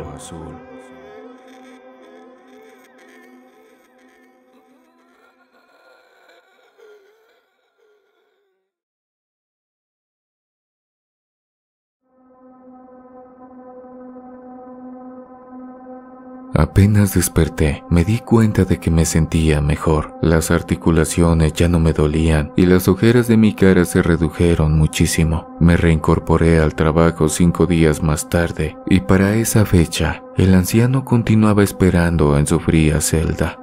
Esperaba que al volver ya lo hubieran ido a recoger, así que sentí un escalofrío cuando miré el cubículo donde él aguardaba. Me acuerdo de que le hablé y le dije que no le tenía rencor por haberme lastimado, aunque no me lo merecía, y le prometí que si su familia lo encontraba, les daría el mensaje que escuché durante mi sueño.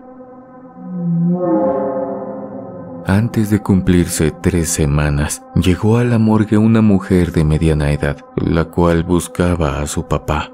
Nos dio sus características y nos mostró una foto concordaba con el Señor que tanto miedo me hizo padecer. Le pedí a mi jefe que me apoyara durante el reconocimiento y presencié la manera en la que aquella desconocida se derrumbaba ante el cadáver de su padre. Iniciamos el papeleo cuanto antes, ya que el caballero estaba en los últimos días antes de su cremación automática. A eso del mediodía, se lo entregamos a la funeraria y lo sacaron del lugar, pero antes de que su hija se fuera hablé con ella.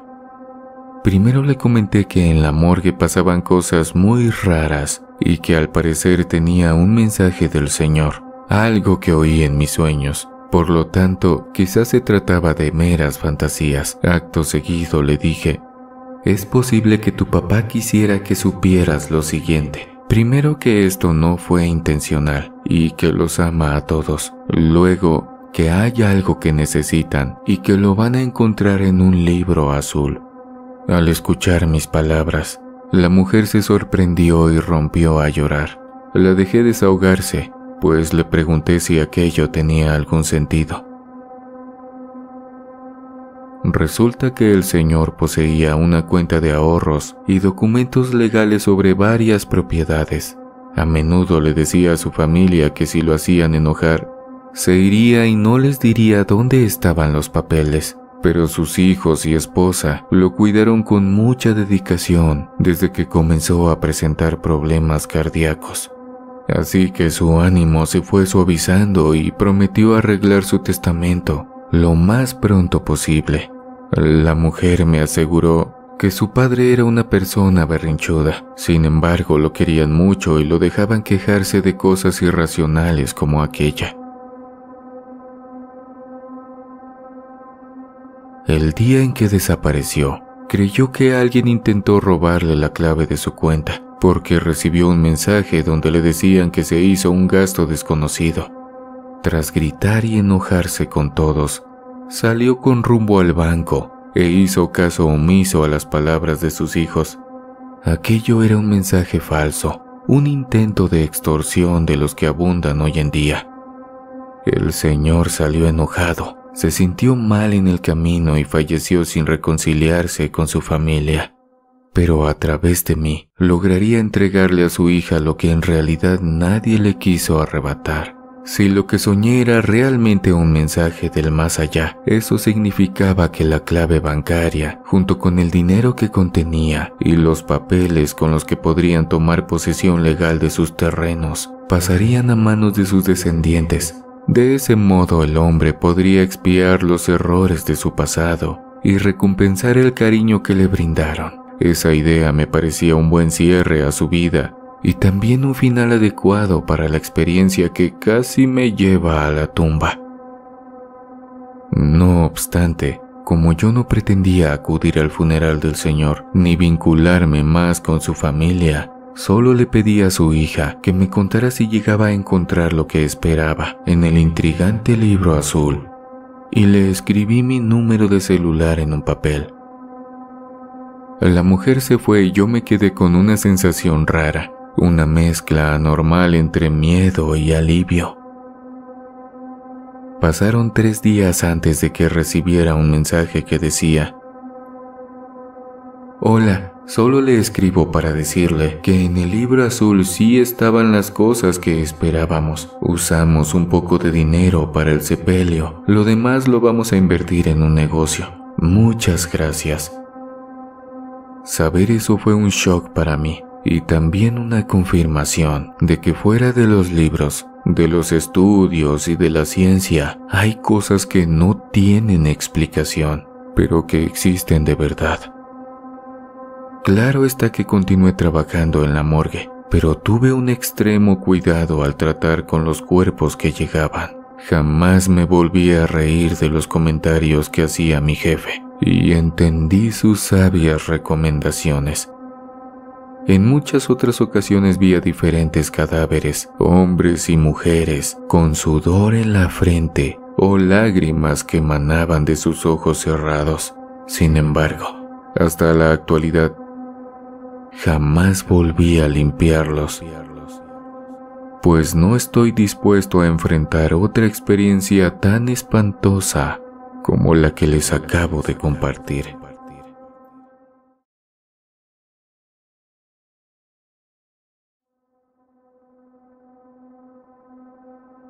Mi hermano Isidro siempre fue muy raro. Yo soy mayor que él por cinco años y desde que tengo memoria parecía ser una de esas personas cuyo cerebro no le funcionaba como es debido. A veces se quedaba mirando a un punto y todo lo que estuviera pasando a su alrededor quedaba en segundo plano. Para sacarlo de su ensimismamiento lo teníamos que sacudir por un hombro o debíamos salpicarle agua en la cara. En la cocina siempre había una charola llena, lista para usarla con él. Por si fuera poco, el razonamiento de Isidro también era extraño. Cuando mi mamá le decía que no brincara en la cama porque se podía caer, él saltaba con más fuerza y sí, se terminaba cayendo y llorando. Si mi papá le avisaba que la sopa estaba caliente y no debía de probarla todavía, él metía la cuchara, se zampaba un trago y gritaba de dolor al quemarse. No sé por qué era así. A lo mejor se trataba del espectro autista que es tan conocido hoy en día, pero en ese entonces los que lo rodeábamos solo sabíamos que mi hermano era raro y le faltaba seso. Conforme fuimos creciendo, llegó un punto en el que Isidro nos servía de diversión. Lo retábamos a hacer cosas. Solo bastaba con decir, ¿a que no te atreves? Y él se iba derechito a demostrarnos que sí tenía valor para eso.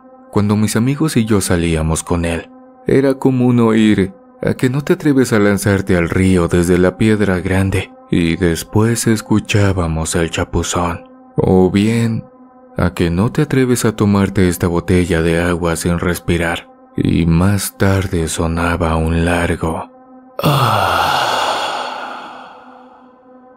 Debido al trago que Isidro dio para beberse el líquido, correr junto al tren, azuzar a un toro, subir a árboles, comerse un gusano, saltar aquí o allá, vestirse de mujer y hasta tragarse un chile. Fueron retos que mi hermano cumplió mientras yo y otros pelados nos matábamos de risa. Nos reíamos tanto a costa de Isidro que, como sucede a menudo con las cosas repetitivas, terminamos aburridos. Por supuesto, éramos conscientes de que si le decíamos a que no te cortas un dedo, el chaval era capaz de hacerlo y omitimos cualquier cosa que pudiera lastimarlo. Hasta eso, a lo mejor estábamos tan mensos como él, pero poseíamos dos gramos de conciencia todavía. La cosa es que se nos fue quedando atrás la niñez y luego la adolescencia. Crecimos e Isidro también creció. Cuando cumplí 23 años, mi hermano alcanzó la mayoría de edad y como ninguno estudió ni tenía aspiraciones mayores, nos inscribimos a un programa de gobierno en el que le ofrecían trabajo a personas que vivieran en el lugar, pero que no tuvieran un empleo formal. Yo laboraba sin contrato en el campo y mi hermano se rascaba la panza día con día. Nos aceptaron a los dos. A mí me mandaron con un bloque de campesinos para trabajar los campos locales de 7 de la mañana a 3 de la tarde. El sueldo que me asignaron parecía una millonada en comparación con los tristes pesos que me daba mi papá por pasar casi todo el día bajo el sol. Claro que todavía debía de llegar a la casa y ver qué se necesitaba o en qué podía ayudar. A Isidro, vaya suerte. Lo mandaron como intendente a la clínica del pueblo una edificación de menos de 200 metros cuadrados con apenas dos pisos en la que debía de trapear tres veces al día y sacar la basura. No pasaría calor ni tendría mayores inconvenientes que mantener blanco el bonito uniforme que le asignaron. Sentí una pizca de molestia y envidia, pero no había de otra y terminé resignándome. Total, Isidro no era capaz de trabajar en el campo sin terminar tirado entre la hierba o quemándose los ojos por estar mirando mucho rato hacia el sol. De esa manera pasaron las semanas. Yo me acoplé a las actividades y, de forma asombrosa, Isidro también. En casa comenzaron a mejorar las cosas. Teníamos más dinero para comer y nos sobraba para uno que otro gusto. Entre Isidro y yo compramos una televisión de las que en ese momento andaban de moda. También un refrigerador y un microondas. Cada que podía, yo me iba con mis amigos muchos de los cuales también trabajaban en el programa municipal. A menudo, Isidro se me pegaba y le echábamos carrilla mientras nos tomábamos unas cervezas. Así nos enteramos de las cosas que mi hermano veía en la clínica. Por ejemplo, nos reveló que Martina, la hija de don Tiburcio, estaba embarazada y se suponía que no tenía novio. Esa misma tarde, Isidro nos confesó que existía una cosa que no le gustaba, y era limpiar los cuartos cuando moría alguien, pues dejaban un aroma muy feo. Nos sorprendió aquella información, pues no imaginábamos que mi hermano también se estuviera enfrentando a eso. Nos parecía que a la clínica entraba gente con gripa o infección en el estómago y ya. Pero claro, tenían una pequeña sección para internar a las personas, la cual era una habitación en el segundo piso, con dos camas y un rack para poner suero. Pero en ese espacio a veces eran colocados los que acudían con alguna herida, o ancianos que se ponían mal debido a algún descuido, o meramente por cuestiones de su edad, y perecían sobre los viejos colchones antes de que llegara una ambulancia para trasladarlos a la ciudad. Así falleció un hombre del pueblo vecino, al parecer un alcohólico que se desgastó el hígado hasta que no pudo más. Tenía cirrosis y lo llevaron sus familiares a la clínica porque comenzó a vomitar sangre. Ese día Isidro salió asqueado después de limpiar la sala de enfermos.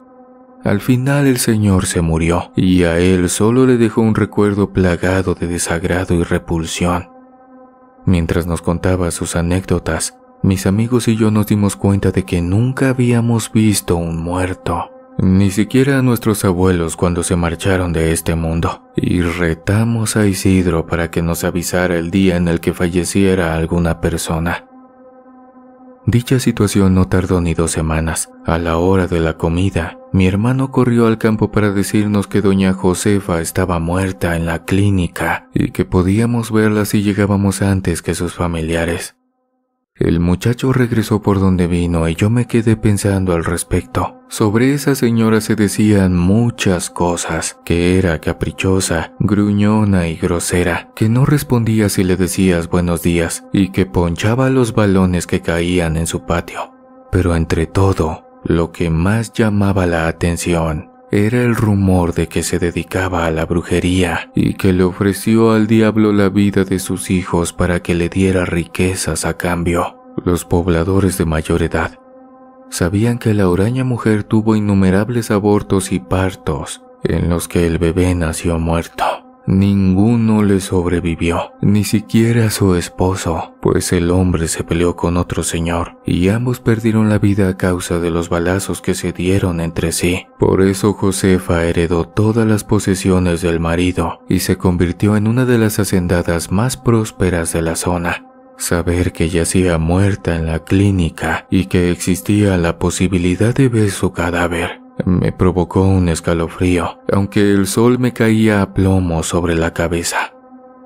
En esa ocasión actué igual que Isidro. Todo me decía, no vayas, déjalo así. Y claro está que sí fui. Llegué con mis dos amigos, Francisco y Nicolás, al trabajo de mi hermano. Saludamos y nos metimos con discreción. Si una enfermera nos preguntaba qué hacíamos, le diríamos que íbamos a despedirnos de nuestra vecina, pero nadie nos detuvo. Subimos unas escaleras y entramos a un cuarto en el que observamos una cama vacía y otra donde se veía una persona cubierta por la sábana. Francisco preguntó cómo murió e Isidro le dijo que llegó en la mañana haciendo como si se ahogara. El médico le hizo presión en el estómago y no sirvió de nada. La cara se le puso morada, los ojos se le enrojecieron y después se murió. Otra vez mi cabeza dijo, vámonos, ya estuvo, hay que ir a casa. Sin embargo, me quedé en el lugar donde me encontraba. Destapamos a la señora y vimos su horrible rostro amoratado. Tenía los ojos medio abiertos. ¿A qué no te atreves a cerrarle los ojos? Soltó Nicolás, y mi hermano se apresuró a presionar los párpados de la muerta. Yo sentí que una mano helada me acariciaba la espalda y creo que mis amigos percibieron lo mismo, pero una vez desatados los retos serían difíciles de parar. Francisco se acercó a la camilla y analizó a la señora por un momento. Luego susurró. Miren, está sudando o algo así. De inmediato, Nicolás pronunció. A que no le limpias la cara, Isidro. Con un trapo que sacó de su bolsillo, mi hermano le secó el rostro a la difunta y luego lo dobló para guardarlo. Antes de que el trapo desapareciera de nuestra vista, Nico continuó fastidiando. ¿A que no te pasas el trapo en la cara? Yo me adelanté y empujé a mi amigo, que en ese momento me pareció una persona despreciable. Le dije que dejara en paz a mi hermano. Cuando volteé, vi a Isidro pasándose el trapo por el rostro.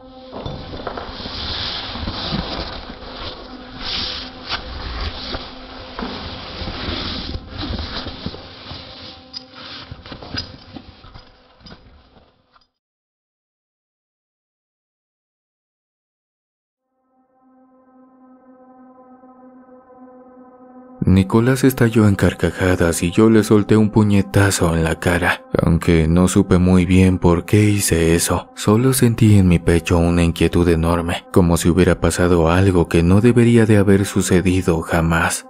Ese día perdí a un amigo, pues Nico se enojó de por vida conmigo, y también comenzó el horror en mi familia ya que Isidro empezó a comportarse de un modo más extraño de lo acostumbrado. En los días siguientes me di cuenta de que mi hermano ya no se quedaba mirando a un punto fijo, sino que se la pasaba moviendo los ojos, como si pudiera ver algo que se desplazaba de un lado a otro a gran velocidad. La vez en que le pregunté qué veía, me dijo que una bola negra con ojos y dientes afilados que saltaba entre las ramas de los árboles y lo retaba a no perderla de vista o lo mataría. Un mes después, mi hermano me preguntó si podía hablar conmigo y me explicó con una inmensa seriedad que en los últimos días lo andaba persiguiendo una señora vestida de negro. Según me aseguró, la veía por todos lados, detrás de los árboles, asomada en una esquina o espiándolo a través de una rendija en la puerta de su cuarto.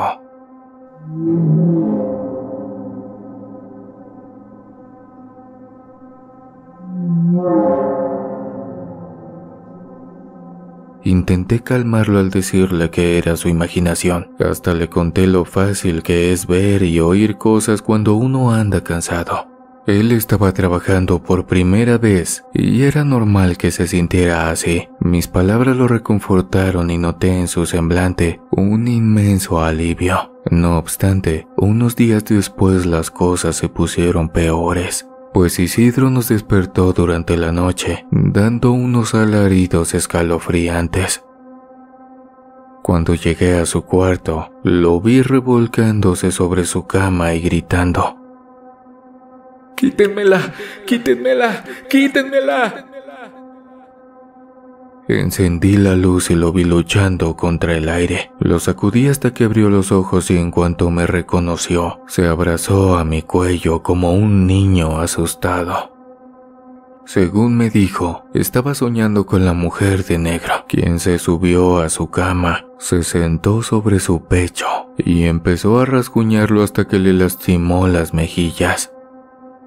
Cuando ya tenía el rostro bañado en sangre, le presionó los ojos con los dedos y el dolor que experimentó fue tan real que lo obligó a gritar con todas sus fuerzas.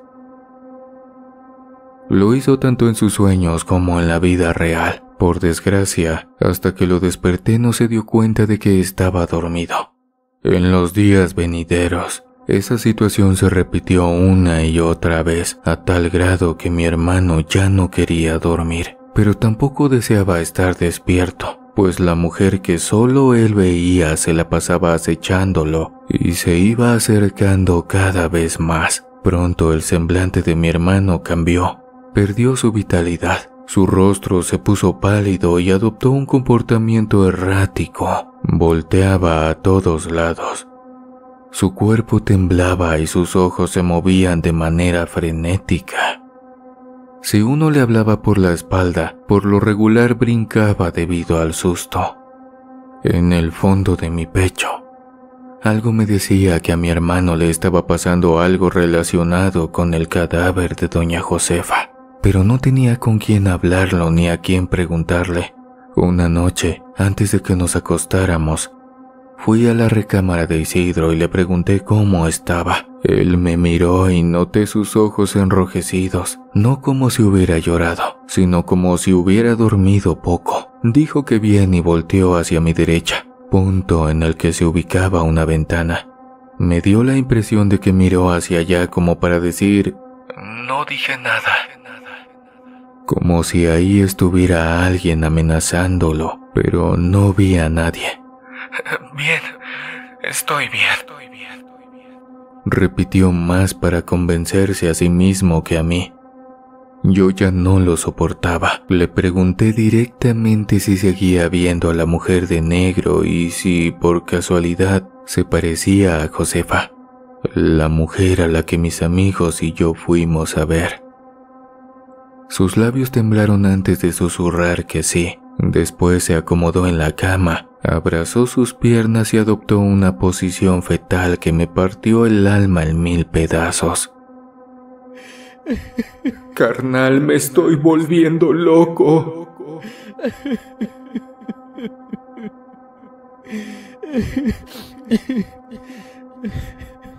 Dijo en voz baja y dejó que su llanto saliera sin control.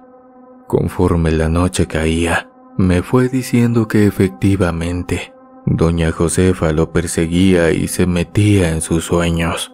A menudo El espectro de la mujer entraba a su cuarto para torturarlo. Lo mordía y lo rasguñaba durante unas pesadillas espantosas, pero cuando despertaba no tenía nada. De repente comenzaba a escuchar una risa desquiciada que le taladraba los oídos por horas. También estaba viendo cosas muy raras, como gusanos en su comida o sombras que captaba por el rabillo del ojo. De más joven me encantaba reírme de él, hacerle burla y causarle vergüenzas que en realidad le daban igual, porque no las consideraba como tal, pero no soportaba verlo sufrir.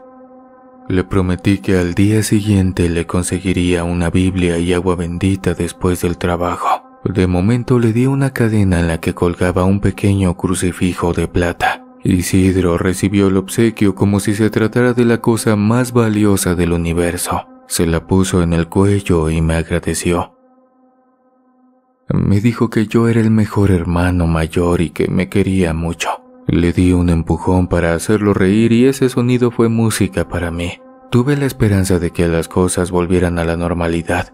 Al día siguiente, salí más temprano de lo normal y pasé a la iglesia para que el padre me bendijera una botella de agua. Afuera del recinto compré una Biblia y también pedí que la consagraran. Trabajé con urgencia para llegar a mi casa cuanto antes. Quería estar ahí para recibir a mi hermano cuando llegara de la clínica. Sin embargo, cuando entré a mi hogar, escuché unos fuertes gritos.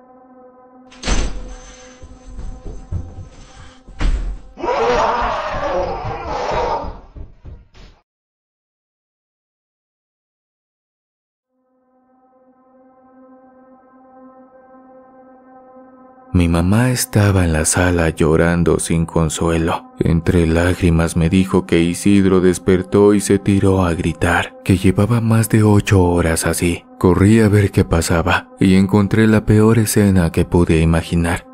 Aquel hombre ya no se parecía a mi hermano. La habitación estaba destrozada y él andaba en ropa interior, con el cuerpo lleno de rasguños. Los labios se le partieron debido a su gritadera y al parecer la garganta también se la lastimó, pues le bajaban largos hilos de baba sanguinolenta de la boca. Intenté detenerlo para que dejara de lastimarse, pero no pude. Regresé a la sala por el agua bendita y así sin más, le salpiqué el líquido encima. No sé si fue porque le ardieron las heridas o por alguna otra cosa, pero se retorció como si le hubieran lanzado aceite caliente. De su boca salió un chillido que me sonó a todo, menos a la voz de mi hermano menor.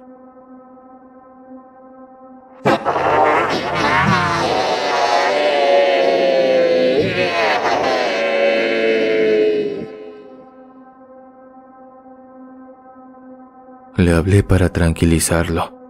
Al principio me ignoró, pero después se me quedó mirando y se dejó caer en mis brazos. Ya no puedo más. Ya no puedo. Me está matando. Gritó sin parar de llorar. Yo lo abracé fuerte. Intenté decirle en ese gesto que lucharía para curarlo de lo que sea que se estuviera enfermando. En cuanto Isidro se relajó, mi mamá entró a la habitación y lo acurrucó en su regazo. Yo fui corriendo por la Biblia y estuve leyendo salmos hasta que se quedó dormido. Mi madre y yo estuvimos a su lado y lo vimos descansar. Estuve esperando por un buen rato a que se inquietara por alguna pesadilla. Sin embargo, no fue así. Durmió con inmensa calma. En la noche llegó mi papá. Dejamos a mi hermano dormido. Le puse la Biblia junto a la almohada y nos reunimos para hablar, como familia. Llegamos a la conclusión de que necesitábamos ayuda y solo la encontraríamos en la ciudad. Al siguiente día saldríamos para allá, en búsqueda de alguien que le devolviera a Isidro la paz que le habían robado.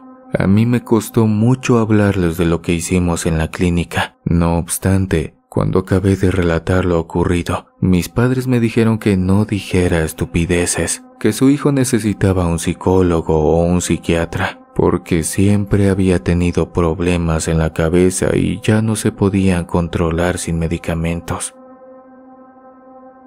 Aquella noche no pensé en por qué se tranquilizó con el agua bendita, ni por qué durmió con la Biblia a un lado. Me da coraje saber que tuve una prueba para que me creyeran y la desaproveché. A eso de las 10 de la noche, mis papás y yo terminamos de preparar unas mochilas para el viaje del día siguiente. Por mera curiosidad me fui a asomar al cuarto de Isidro y lo vi dormido profundamente. Llevaba más de tres horas así. Tuve la intención de irme a mi habitación y al final lo rechacé. Me acomodé en un sillón ubicado frente a su cama y ahí perdí la conciencia. Desde mi perspectiva, la noche transcurrió tranquila, sin sobresaltos, solo con la molestia común de haber dormido en un sitio distinto a mi cama. Abrí los ojos de madrugada. Todavía no clareaba por completo. Me costó un poco de trabajo enfocarme, pero luego recordé dónde me hallaba y comprendí lo que estaba mal. La cama de mi hermano estaba vacía. Observé la Biblia tirada y la botella de agua bendita derramada sobre el suelo, casi seca, como si llevara ahí varias horas. Le llamé a Isidro, mas no tuve respuesta. Me levanté demasiado rápido y experimenté un mareo que se mezcló con un miedo profundo. Salí del cuarto. Me fui a asomar al mío, pero no encontré a nadie. Avancé hacia la recámara de mis padres. Ellos permanecían dormidos. Les hablé para que se levantaran. Intenté no alarmarlos, pero les dije que no encontraba a mi hermano. Ellos salieron de la cama tan rápido como pudieron. En el baño no encontramos a nadie tampoco en la cocina ni en el comedor. Sobre los sofás de la sala continuaban las mochilas. Ahí nos dimos cuenta de que la puerta estaba abierta y salimos a la carrera hasta el patio.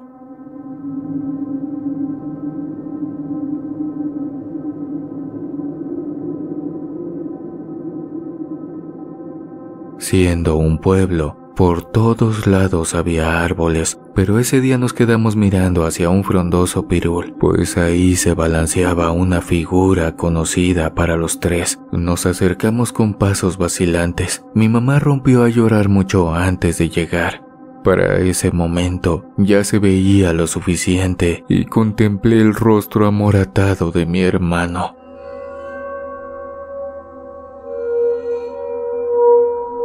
Sus ojos estaban inyectados de sangre, abiertos y derramando lágrimas teñidas de rojo. A un lado estaba una cubeta volteada y su cuerpo permanecía suspendido gracias a un mecate viejo. El resto de la historia se las puedo resumir con que hicimos un funeral sencillo, aunque apresurado. Llamamos a los amigos y familiares para que nos brindaran apoyo y consuelo. Mi madre se refugió en la calidez que le brindaban sus hermanas. A papá le costó mucho procesar que uno de sus hijos se acababa de suspender de un árbol, así que bebió hasta que cayó redondo en una esquina del patio. Sepultamos a Isidro al día siguiente a primera hora de la mañana. Durante la noche no sucedió nada raro. No cantaron pájaros de mal agüero ni escuchamos a un caballo galopando. No vimos luces sobre el cerro ni sombras siniestras, pero yo me mantuve alerta, a la espera de presenciar algo anormal. En el panteón abrieron la caja para darle la última despedida a mi hermano. El tono morado de su cara se oscureció, pero ya tenía los ojos cerrados. Mi mamá se abrazó al ataúd y emitió unos alaridos que solo entenderán las personas que han perdido a un hijo. Yo me acerqué para ponerle encima la Biblia que le compré. Así fue como me fijé en una cosa, al igual que Josefa, aquella vieja bruja que estoy seguro de que se llevó el alma de Isidro. Él tenía la frente cubierta de gotitas transparentes como sudor. Al mismo tiempo que yo lo vi, mi mamá se percató de ello y acercó la mano para limpiar a su hijo. Sin embargo, yo le tomé el brazo y se lo impedí. Mamita, déjalo así. No pasa nada. Tranquila, es normal. He oído muchas cosas sobre el tema. Ya transcurrió un montón de tiempo, pero les puedo asegurar que con el sudor de un muerto no se debe jugar. Y que así hayan pasado 10, 5, 15 o 20 años, todavía me carcome la culpa de no haber impedido que mi hermano sufriera tanto.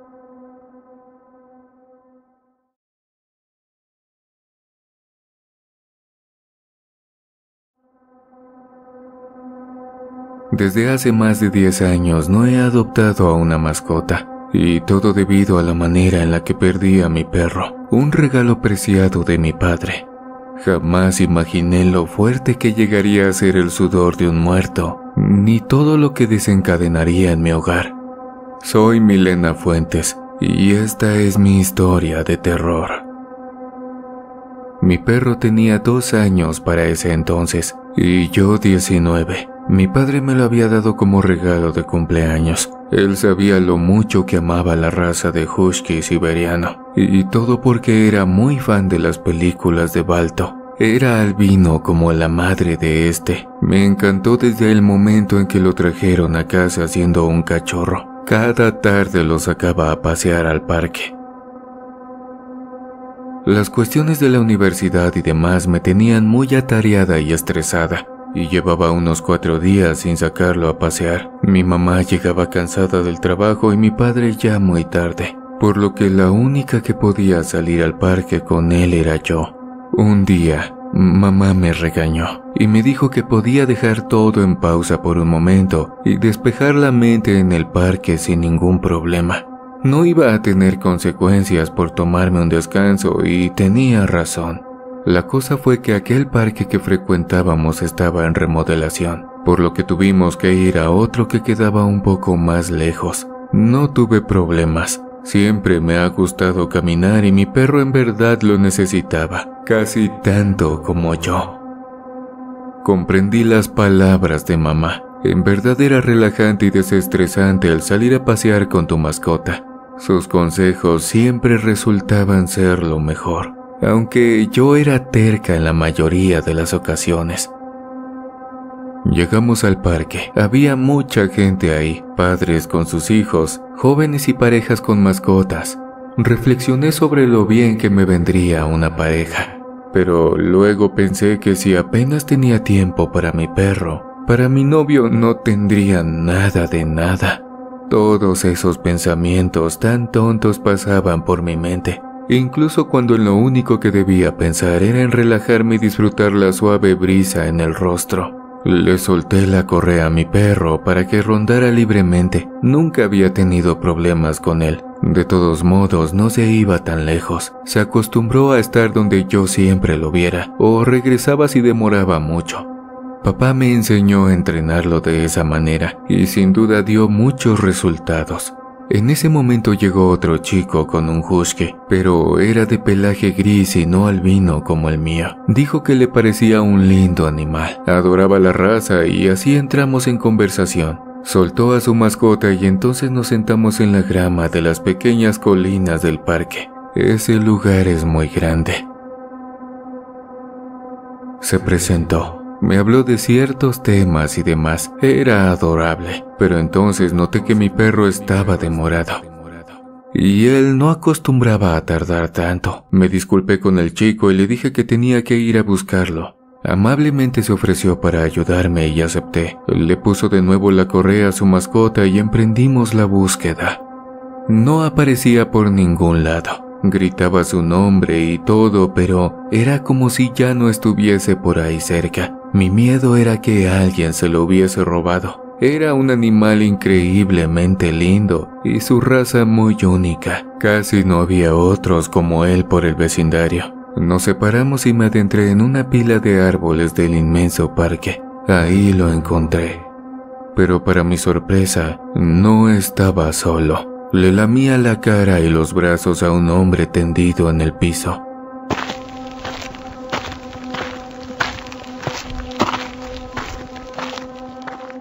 Me acerqué, le puse la correa y entonces me di cuenta de que esa persona ahí tirada estaba muerta.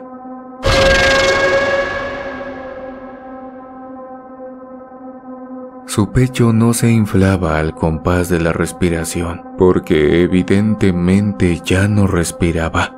Salí corriendo de ahí gritando y pidiendo ayuda. Pronto, mucha gente se acercó y les expliqué que había un hombre muerto entre los árboles. Algunos policías llegaron después de que muchos fueran a ver el cuerpo. En efecto, era un cadáver. Decidí irme a casa inmediatamente y bañar a mi mascota, en especial el hocico. Había lamido todo de aquel cuerpo sin vida. Su lengua debió estar empapada con ese sudor desagradable. De solo pensarlo le echaba bastante agua y jabón y repetía el proceso más de cuatro veces. Se sentía repugnante con solo recordar lo que vi. Al final di por terminado su baño porque mi mamá me regañó, alegando a que no era para tanto. Pronto se corrió la voz y nos llegó la noticia de que aquel hombre hallado sin vida había muerto a causa de un paro cardíaco. Al parecer su perro se soltó de la correa y salió corriendo tras él, algo que tenía estrictamente prohibido por los problemas que presentaba en el corazón. Tuvo un trágico final sin duda. Me aparté de aquella señora que nos estaba contando eso y subí a mi habitación con mi mascota. Con tan solo mirarlo me daban ganas de bañarlo cinco veces más, aunque lucía increíblemente limpio.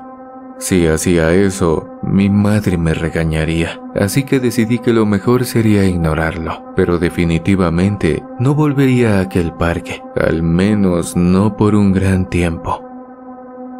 Llegó la noche Cené y me puse a estudiar para el examen de admisión que presentaría dentro de dos meses. Quería estar muy preparada con antelación.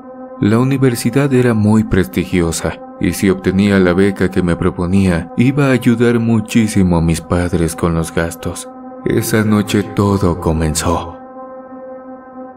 Mi perro acostumbraba a dormir conmigo en mi cuarto. Tenía su cama al lado de la mía, cerca del closet. El reloj señalaba las 11 de la noche. Era hora de dormir y descansar, pero haría todo menos eso. Bajé a tomar agua y mi mascota me acompañó. Algo inusual en él, en especial cuando estaba profundamente dormido. No le presté atención, bajé a la sala e hice lo que iba a hacer. La cosa es que al voltear para subir las escaleras, mi perro estaba de pie, en dos patas. Con una naturalidad y equilibrio increíble. Nunca lo había visto de esa manera. Le susurré su nombre y su mirada me dio una sensación de miedo. Se sentía rencoroso y por un momento pensé que me mordería. Caminó hacia mí mientras más me acercaba, más se me aceleraba el corazón. No sabía qué hacer, estaba en shock. Me hice a un lado lentamente y entonces se acercó a la nevera. La abrió y comenzó a morder el recipiente de agua. Intentando beberla la derramó toda en el piso. La lamió poniéndose de nuevo en cuatro patas mientras ignoraba por completo mi presencia. Lo llamé varias veces, pero no me hacía caso. Al terminar, de nuevo se puso en dos patas y caminó hacia las escaleras. La subió lentamente y lo observé entrar de nuevo en mi cuarto.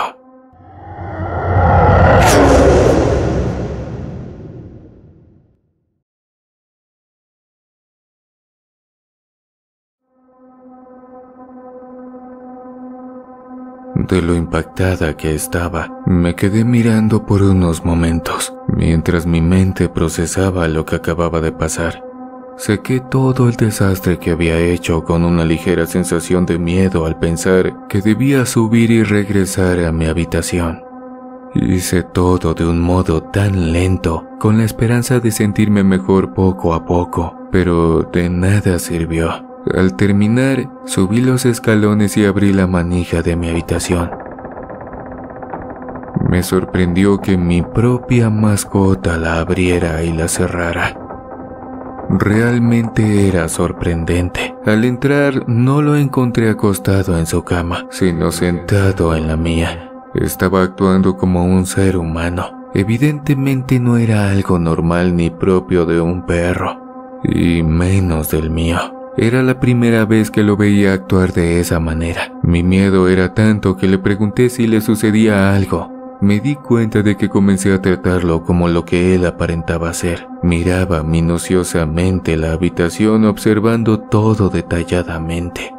De un momento a otro. La puerta que cerré y aseguré con llave se abrió. Escuché pasos detrás de mí, así que volteé rápidamente, pero para mi sorpresa, no había nadie. Mi perro soltó un ladrido en dicha dirección y entonces se cerró sin que nadie la tocara. Segundos después se escuchó el sonido del cerrojo atrancándola. No era una ilusión o broma, ni siquiera mi imaginación. Eso en verdad estaba pasando. No había forma de dudarlo. Tampoco tenía palabras, no sabía qué hacer. Al final mi perro se volvió a poner en cuatro patas, se acostó en su cama al lado de la mía y quedó completamente dormido en poco tiempo. Bastante confundida me quedé sentada observándolo.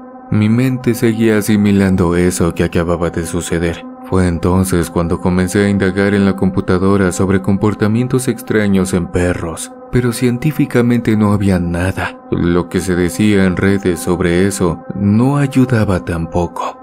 Encontré incluso que hablaban sobre la posible posesión de un ente demoníaco en el cuerpo del animal. Me negaba a creer eso. Apagué el monitor y me acosté a dormir. Por fortuna, logré conciliar el sueño más rápido de lo que pensé. Al día siguiente le oculté todo a mis padres. Ni siquiera podía imaginar lo que pensarían si les dijera que mi mascota hizo todo lo que vi, en especial la parte de la puerta cerrándose sola o él subiendo las escaleras en dos patas, tratando de imitar la manera en como nosotros lo hacemos. Después del mediodía, mi madre me pidió que le buscara unos medicamentos y demás. Pensé ir sola, pero no quise sentir que le estaba agarrando miedo a mi perro, así que le puse su correa y lo llevé conmigo. En el camino, me encontré aquel chico del día anterior, con el que me quedé hablando y se ofreció para ayudarme a encontrar a mi perro.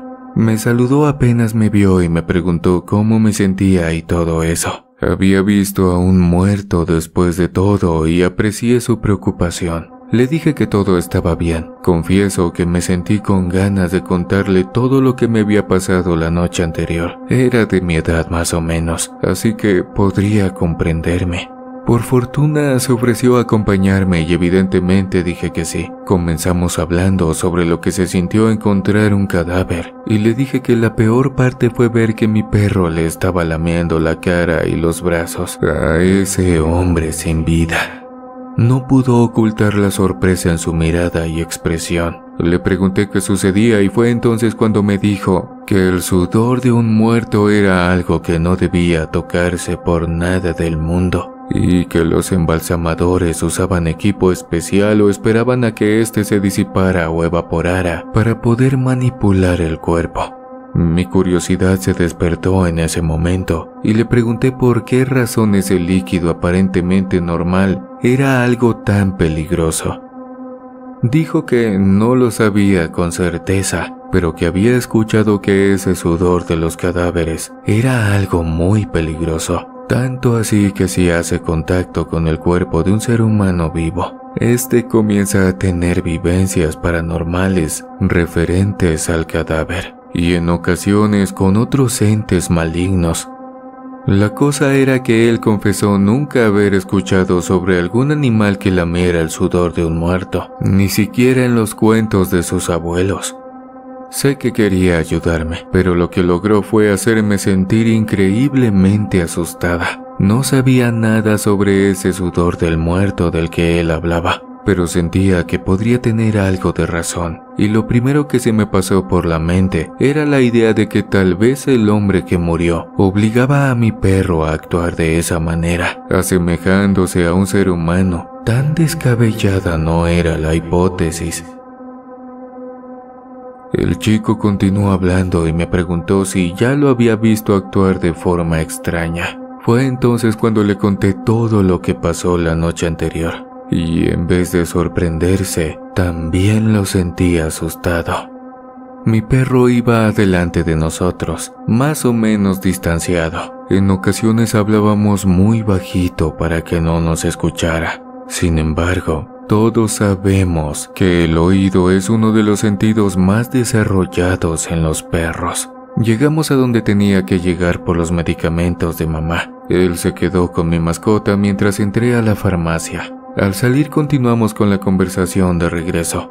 Dijo que debía buscar ayuda, ya que hasta el momento él no era agresivo y solo se comportaba extraño, pero todo podía cambiar de un momento a otro. Me recordó que eso podía atraer a otros seres malignos y albergarlos en mi casa, lo que no solo justificaría un peligro para mí, sino también para mis padres, me asustó la idea de que algo le pudiese llegar a pasar por eso, así que decidí escuchar al muchacho. Me dio la dirección de una bruja que era muy buena y ayudaba a todo aquel que acudiera a ella.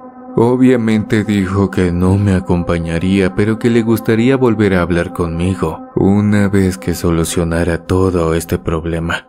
Para ser honesta no lo juzgué, tenía todo el derecho. Además me ayudó mucho con lo que me dijo y la dirección que me dio. Antes de llegar a casa, el chico me dijo que sería bueno que le llevase un poco del pelaje de mi mascota. Así me ahorraría el tener que llevarlo a ese lugar. Cuando llegué a casa, tomé su consejo y no esperaría hasta el día siguiente. Con una tijera le corté parte del pelaje de la cola, lo metí en una bolsa y me encaminé hacia la dirección que me había dado. Me sorprendí al entrar a ese local. Todos los estantes estaban vacíos. Ni siquiera había una cruz o algo referente a la santería o brujería. Del fondo, pasando una cortina de tiras color café, salió una hermosa mujer, casi sacada de revista. Me preguntó qué se me ofrecía y le conté que tenía un pequeño problema con mi perro. Me senté con ella en una mesa de madera pasando aquella cortina de tiras y me pidió que le contara todo y así lo hice, sin omitir ningún detalle. Me pidió el pelaje que le había cortado y lo miró minuciosamente por unos segundos, para después cerrar sus ojos y apretar el mechón de pelo. Al final, me confesó que el sudor de muerto era algo sumamente delicado y que había tenido mucha suerte de que mi perro fue el que lo lamió. Explicó casi lo mismo que aquel chico, pero de una manera más profunda y con mayor información. Ella dijo que los entes que se aparecen por el sudor casi nunca se iban, porque en su mayoría eran siniestros y buscaban un alma que llevarse. De ese modo me dio la solución, pero no me agradaría mucho, ya que consistía en sacrificarlo. Alegando a que esa presencia no podía adherirse a alguien más solo porque el huésped era un animal. Incluso me propuso que si yo llevaba a mi perro, ella se encargaría sin que yo viera absolutamente nada. Parecía sencillo a simple vista, pero por dentro me estaba torturando. Quería otra solución, y por eso le insistí. Sin importar lo que dijera, ella refutaba una y otra vez que era la única. Mi perrito no se podía comunicar con el ente de ninguna manera, por eso era un huésped fácil, ni siquiera sabía cómo resistirse no como un ser humano lo intentaría. Me fui de ahí con un sabor amargo. No quería ni siquiera pensar en sacrificar a mi preciada mascota. Llegué a casa y mi perro me recibió de una manera tan alegre que hasta brincaba. La verdad es que no podía pensar en deshacerme de él de ninguna manera. Seguí ocultándole todo a mis padres teniendo la esperanza de que tarde o temprano se le iría ese extraño comportamiento y todo volvería a la normalidad.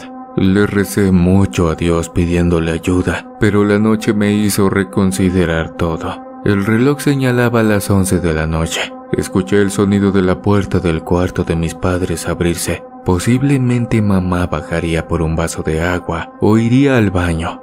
No le di importancia. La cosa es que mi perro no estaba en el cuarto y mi descuido fue enorme. No lo noté inmediatamente, y cuando estaba a punto de indagar sobre su paradero, escuché gritos que provenían de la sala.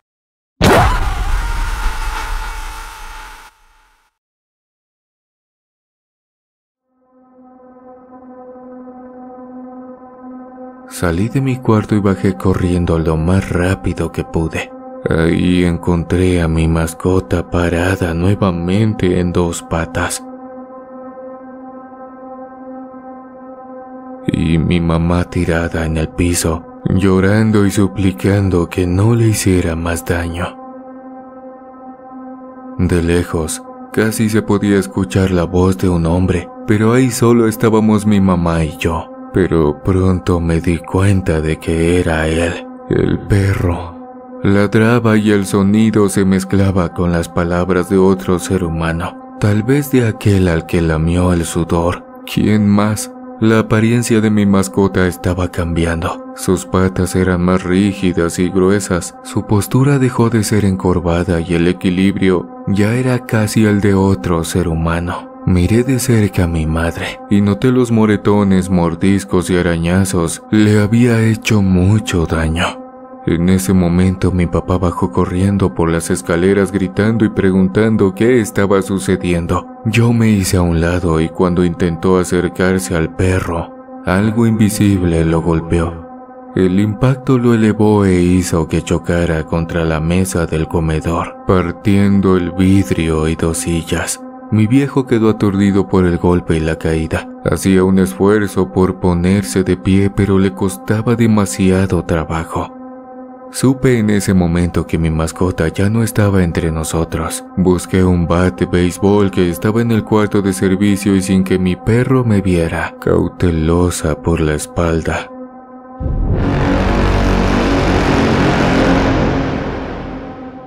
Le propiné un golpe tan fuerte en la cabeza que cayó al piso. Pero antes de que se levantara, mi padre llegó y comenzó a golpearlo con dos pedazos de la madera partida de las sillas. Luego me quitó el bad y terminó el trabajo que aquella bruja propuso hacer por mí. Mi madre seguía llorando en el piso. Fui corriendo a ayudarla y junto con mi padre la pusimos de pie y la sentamos en el sillón. Fue una noche muy trágica. Mi padre me aclaró inmediatamente que no lo enterraríamos en el patio. Al amanecer, salió y desechó el cuerpo quién sabe dónde.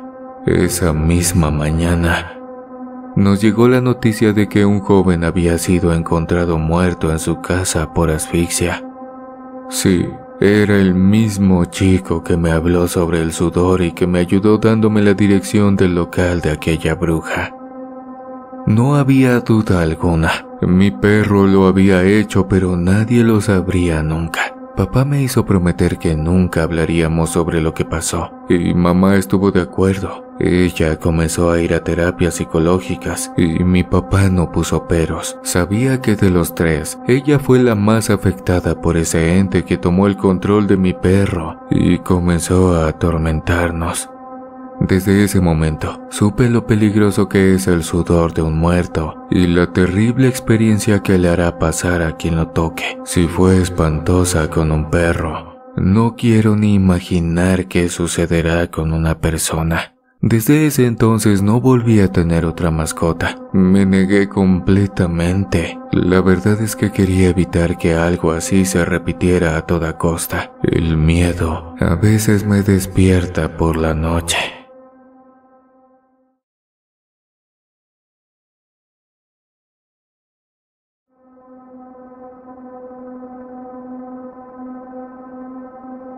Revelaciones. En nuestra calle estaban ocurriendo desapariciones que según la gente eran atribuidas a narcotraficantes y ese tipo de personas que se especializaban en la venta y distribución de sustancias ilícitas, sobre todo a la trata de blancas quiero contarles cómo la muerte de una amiga hizo que algunos fuesen capturados por la ley, en especial un cómplice muy cercano a nosotras. Soy Nora Rivera y esta es mi historia de terror. Nos encontrábamos en una fiesta celebrando el cumpleaños de Cristina, mi mejor amiga. Juan y Camila nos acompañaban esa noche. La estábamos pasando de lujo, aunque ya se notaba el efecto que nos estaba haciendo el alcohol. En la discoteca se nos unió Guillermo, mi vecino. Al parecer con las personas que había salido ya se iban y quería seguir la fiesta, aunque no lo ayudamos mucho. En menos de una hora decidimos que nos iríamos y pedimos un taxi en el que nos iríamos los cuatro, ya que al parecer mi vecino se quedaría otro rato más. Salimos y ahí nos dimos cuenta de lo borrachos que estábamos. Apenas podíamos caminar y hablábamos puras bobadas, la mayoría sin sentido. Estando en el taxi, nuestro alboroto parecía aturdir al conductor. Cristina estaba de copiloto, Juan, Camila y yo en la parte de atrás. En mi caso, tenía la cabeza recostada en la ventana del lado derecho. No quería quedarme dormida, pero el alcohol me estaba adormeciendo, casi al punto en que no podía sentir ni mi propio cuerpo. De un momento a otro, Juan y Camila comenzaron a discutir. Era algo tan fuerte que hasta Cristina estaba interviniendo, diciéndoles que se detuvieran. El conductor también estaba molesto y amenazaba con dejarnos en la mitad de la carretera botados. Yo estaba tan aturdida que apenas podía entender los gritos y no sabía por qué discutían esos dos. En ese momento se escuchó el impacto. El auto chocó con otro producto de que Camila empujara al conductor en medio de la pelea y por ende saliera del carril para terminar de frente con el parachoques del otro vehículo. Íbamos relativamente rápido, tanto así que el taxi quedó volcado y fuera de la carretera. De repente, varios minutos después, sobre mí, ya muerta, estaba Camila. Nuestras frentes estaban pegadas. De un lado chorreaba su líquido rojo y del otro una especie de gotitas de agua. Todo aquello caía en mi rostro. La llamé por su nombre varias veces pero no me respondía y mi cuerpo estaba adormecido por completo. Pasó más de media hora para que alguien viniera a auxiliarnos. Escuché la sirena de los policías y la ambulancia, pero cuando estaban a punto de llegar, yo comenzaba a perder el conocimiento nuevamente. Tiempo después desperté en una clínica. Había tenido suerte. No tenía heridas graves. La mayoría de las sensaciones fueron producto del alcohol, pero desafortunadamente Camila no contó la misma suerte. Se había golpeado tan fuerte la cabeza que eso le provocó que perdiera la vida al instante. Su cadáver reposó sobre mí todo el tiempo que la ayuda tardó en llegar. Cristina tenía dos fracturas y Juan había sido tan afortunado como yo, sin heridas de gravedad, solo leves moretones. Y para añadir otro toque fatídico, el taxista también perdió la vida. Mis recuerdos eran muy confusos. No pude decir mucho en la declaración que los oficiales de policía me tomaban, pero sí mencioné la discusión. Les aclaré que Cristina estaba más pendiente que yo y que su versión le revelaría los detalles que necesitaban. La cosa es que ella seguía sin despertar, por lo que el interrogatorio debía esperar un poco más.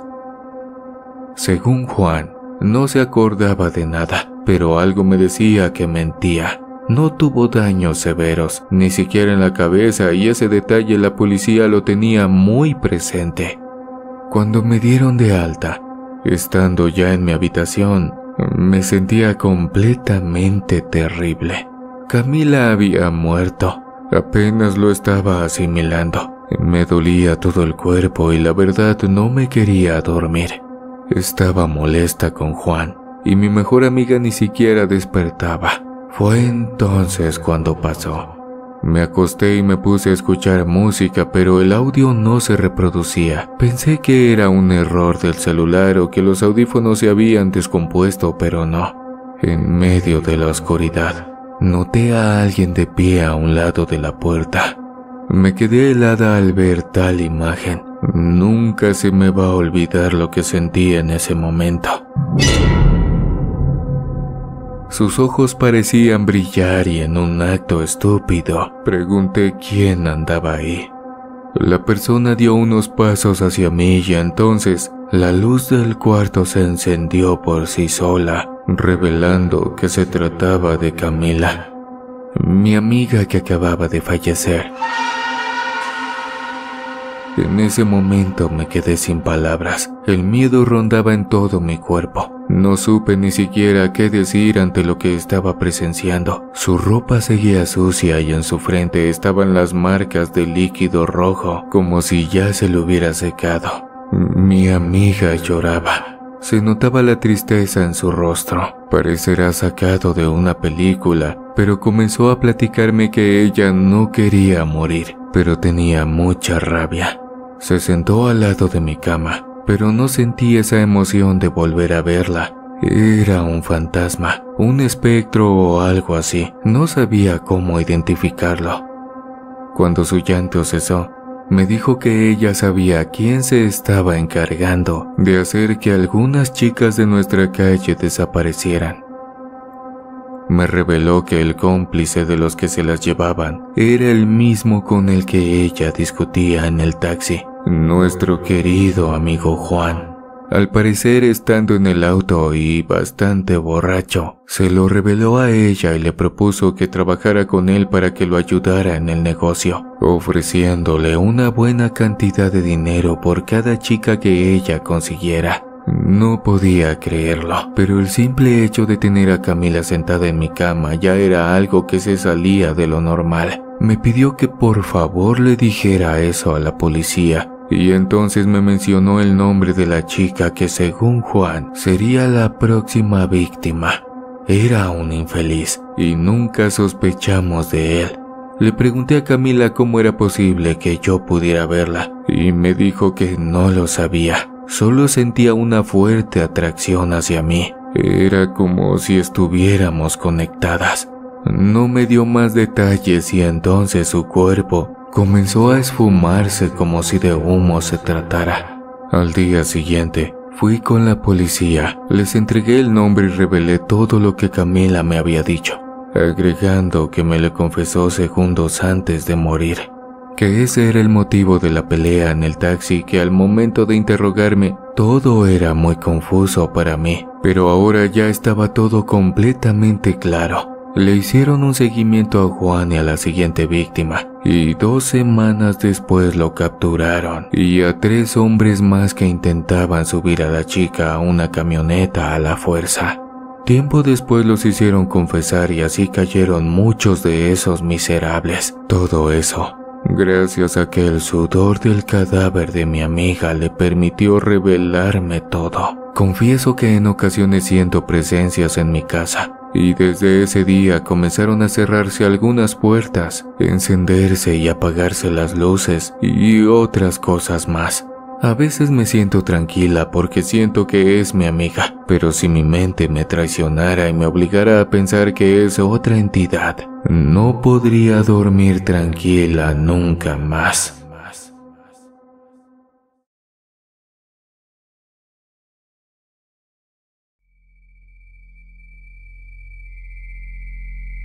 Mi tía Guillermina fue una persona de esas que no dan ganas de recibir en tu hogar. Muchas veces mi mamá me pidió que guardara silencio hasta que dejara de tocar la puerta y creyera que no había nadie en casa. Mi papá, único hermano de Guille, Sabía que en la medida de lo posible se debía de evitar su entrada, a menos que quisiéramos arriesgar nuestra tranquilidad después de que se fuera, ya que siempre tenía comentarios mordaces, cizañosos y crueles para emitir. En muchas ocasiones le mencionó a mi mamá algo sobre las exnovias de mi padre. Siempre murmuraba que cualquiera de ellas era mejor que la esposa a la que terminó eligiendo. En cierta ocasión, le dijo que debía de tener más cuidado con sus servilletas de tela y que era necesario que pusiera de su parte, así como María Guadalupe, la última pareja de su hermano. La tía Guille tenía cuatro hijos, era viuda y su esposo falleció por problemas en la vesícula. Dicen que comía demasiado picante, pero quién sabe si realmente fue por eso. Lo que sí es verdad es que su esposa le causaba disgustos a cada rato. A diario le llegaban quejas. Siempre eran problemas. Había días que también le contaban que su mujer había dicho algo insolente o inadecuado. Cuentan los que fueron al sepelio que el hombre tenía dibujada una tenue sonrisa en su cara, aunque su cuerpo se hallaba dentro del féretro, como si en la muerte hubiera encontrado la paz que tanto ansiaba. Guillermina estuvo muy triste por varios días y ese tiempo fue también de calma para sus vecinos. Sin embargo, una mañana agarró su fino velo de encaje negro, su sombrilla y su bolso Luego se fue a la iglesia a tomar misa. Por la calle se encontró a algunas vecinas, las cuales intentaron reconfortarla tras su partida, pero con ellas volvió a las andadas.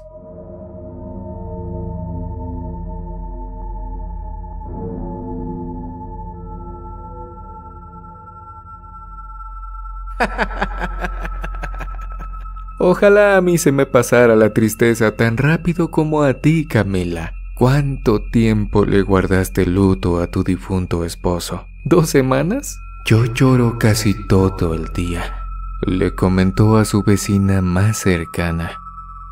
A pesar del duelo, la señora no cambió, pasaron los años. Ella continuó igual de grosera, poco empática e impertinente. ¿Quién sabe por qué hacía eso? Solo ella sabía si lo disfrutaba. Si lo hacía en serio con un aire de inocencia. Simples palabras al aire que siempre pegaban en un blanco sensible. Mi papá, mi mamá y casi todos en el pueblo considerábamos que no, que se portaba de esa manera con mala intención, que ponía una cara inocente pero que detrás ocultaba una máscara siniestra que sonreía y se regocijaba cada que sus frases incomodaban a alguna persona cercana. Incluso les hacía comentarios feos a los niños, así que no nos cabía duda de que ella, por alguna razón, tenía un comportamiento naturalmente malévolo, un germen cruel que lo obligaba a lastimar con sus palabras a cualquiera que se le pusiera enfrente, no importando si era familiar, conocido o visitante eventual. De esa manera, Doña Guillermina se fue ganando a pulso el repudio general, incluso el de sus hijos, quienes crecieron, se casaron y se fueron. Antes de los 50 años, se quedó sola en su casa, la cual no era ni grande ni pequeña, pero demasiado amplia como para que ella se hiciera cargo de todo lo que necesitaba.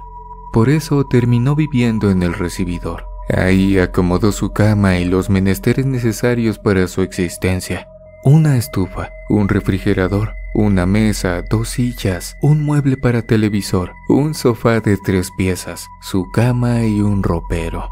Por lo tanto, el resto de la vivienda se fue llenando de polvo y telarañas. Quedó en el abandono y fue poniéndole escandado a las puertas, cosa que decidió debido a unas infundadas sospechas que quién sabe de dónde sacó, pues nadie más entraba a su casa y cuando lo hacían, solo dejaba que sus visitantes se acomodaran a un lado de la entrada, en la mesa o en el sofá. Era raro que mi tía Guille tuviera invitados. Las pocas veces que acompañé a mi papá para verla, noté en su forma de tratarnos que poca alegría le daba tenernos en su casa, así que nos despedíamos lo más pronto posible. En el pasado, su hermano, mi papá se casó y me tuvo a mí como primer hijo, luego a mi hermano Víctor. Todo el tiempo nos mantuvimos alejados de ella. En las pocas ocasiones donde tocamos a su puerta o ella se dignó a tocar la nuestra, siempre nos quedamos con un amargo sabor de boca, pues no faltaban sus frases indeseadas. Como sea, el tiempo pasó y a la tía Guille no la ignoró. Cuando tenía más o menos 20 años, nos llegó un recado formal en el que solicitaban la presencia de mi papá, porque Guillermina había pasado a mejor vida. Por supuesto, acudimos a la casa de mi tía tan rápido como pudimos y nos encontramos con una situación tan horrible. Para empezar, le comunicaron a mi papá que no sabían cuándo ocurrió el deceso porque realmente encontraron a su hermana en un avanzado estado de descomposición. Según determinaron los forenses, pereció de un paro cardiorrespiratorio. Podría llevar más de una semana así y era urgente que consiguieran un servicio funerario para sepultarla a la brevedad. Mi familia y yo nos movilizamos. Contratamos a una funeraria que nos cobró un monto extra por atender un caso tan complicado. Y en menos de tres horas acudieron para colaborar con los peritos. A las seis de la tarde, nos entregaron un ataúd de color gris con adornos negros. En su interior se hallaba una enorme bolsa negra que albergaba los restos de mi tía Guillermina. Y como el aroma a pudredumbre resaltaba tan fuerte, nos recomendaron tener cerrado el féretro durante la velación, costumbre que incluso nos sugirieron evitar. No obstante, era una tradición arraigada y decidimos llevarla a cabo de todos modos.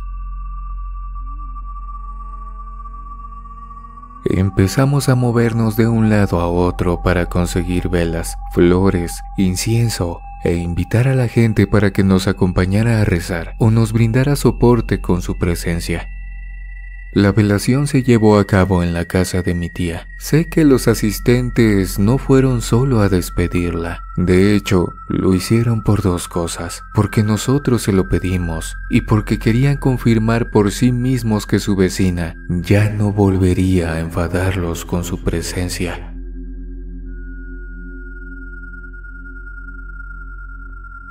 La gente se reunió más para felicitar a mi papá que para llorar la pérdida o asegurarse de que el alma de la difunta pudiera atravesar la puerta de San Pedro gracias a sus oraciones.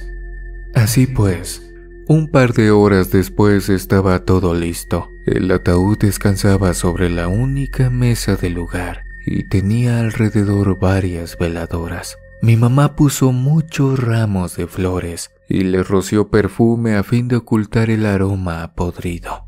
Por primera vez en décadas, la casa de mi tía se llenó de gente. Había unas 70 personas, a las cuales mis papás, mi hermano y yo les repartimos café con pan o galletas caseras calientitas, recién hechas por mi madre. En punto de las 8 de la noche, llegó un señor llamado Otilio, cargando un libro pequeño de color blanco. Era una Biblia con las hojas doradas y un rosario de plata.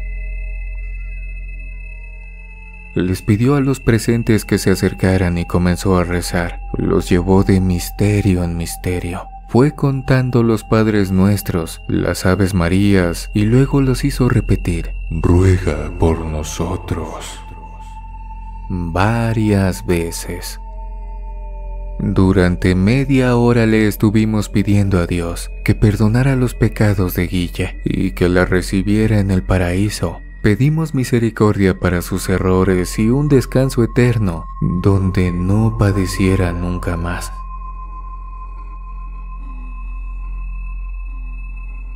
Una vez terminado el rosario, se sirvió una cena ligera y don Otilio se despidió prometiendo que volvería al día siguiente temprano para acompañarnos al entierro.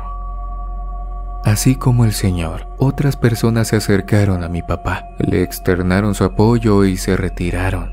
Hacia las 10 de la noche, solo quedaban unas 8 o 10 personas entre ellos cuatro amigos de mi papá que fueron por una caja de botellas de color café para amenizar la noche. Mi hermano y mi mamá se fueron a dormir. Yo me quedé junto a mi papá oyendo historias de su juventud. Tiempo después y estando más relajado gracias al líquido que se encontraba bebiendo, me dio una botella a mí y me dijo que no le dijera a mamá. No era la primera vez que probaba algo fermentado, pero lo disfruté mucho y me uní a la plática. La noche fue pasando tranquila, pero se sentía tan curioso y extraño estar en la casa de mi tía Guillermina sin esperar que en cualquier momento nos fuéramos a disgustar y a despedir de manera apresurada. Cerca de las dos de la mañana, los amigos de mi papá se quedaron dormidos y él agarró unas mantas de su hermana para que no se fueran a resfriar. Nosotros nos sentamos en el recibidor y empezamos a charlar de algunas cosas que hizo la señora. causó muchos problemas entre la gente. Fue la gota que derramó el vaso dentro de dos o tres matrimonios, también la causa de separación de varias parejitas en el pueblo.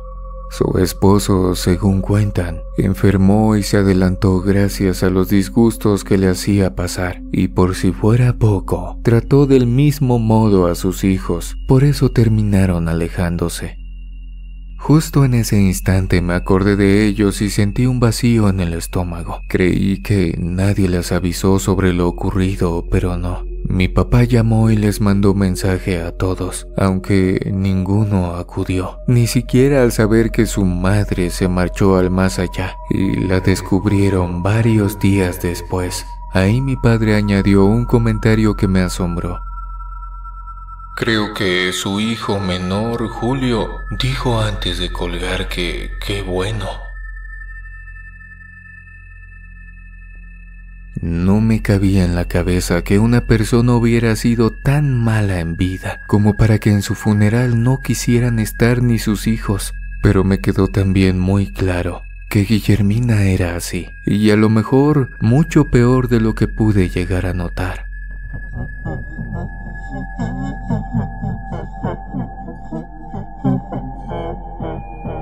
Para no causarles molestias a sus amigos, mi papá apagó la luz y dejó que las veladoras fueran las únicas que iluminaran el espacio.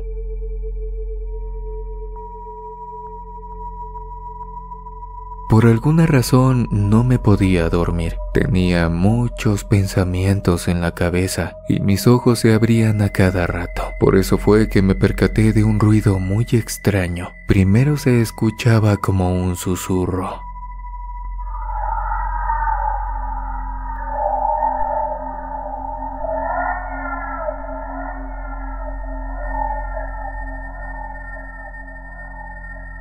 Idéntico a cuando las personas cantan en silencio, pero hacen sisear la S entre sus labios.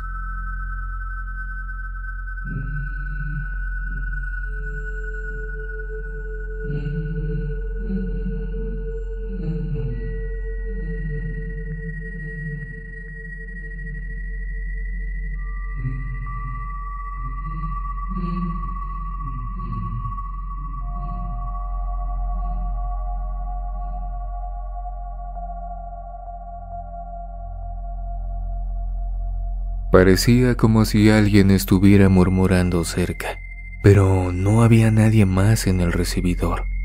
Mi papá y sus amigos estaban dormidos. Mi mamá y mi hermano se fueron a nuestra casa, ubicada a unos 15 minutos caminando. Los otros que se quedaron a acompañarnos estaban afuera, en sus carros o recargados en la barda exterior. Me quedé quieto, oyendo, y pronto noté que el sonido salía del féretro.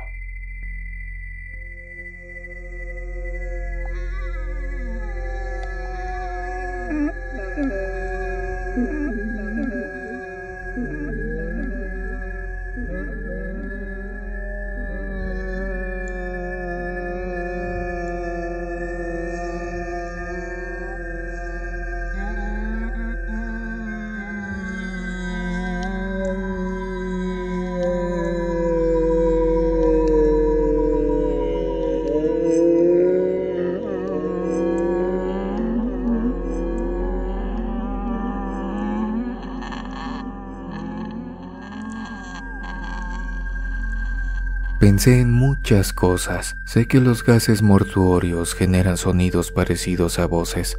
Extrañamente, lo que lograba escuchar era demasiado nítido para ser causado por un fenómeno natural. En verdad se trataba de un cuchicheo, como cuando dos personas hablan muy bajito para que los demás no se enteren. Sin embargo, en esa ocasión consistía en una sola voz que, aparte de todo, era de mujer.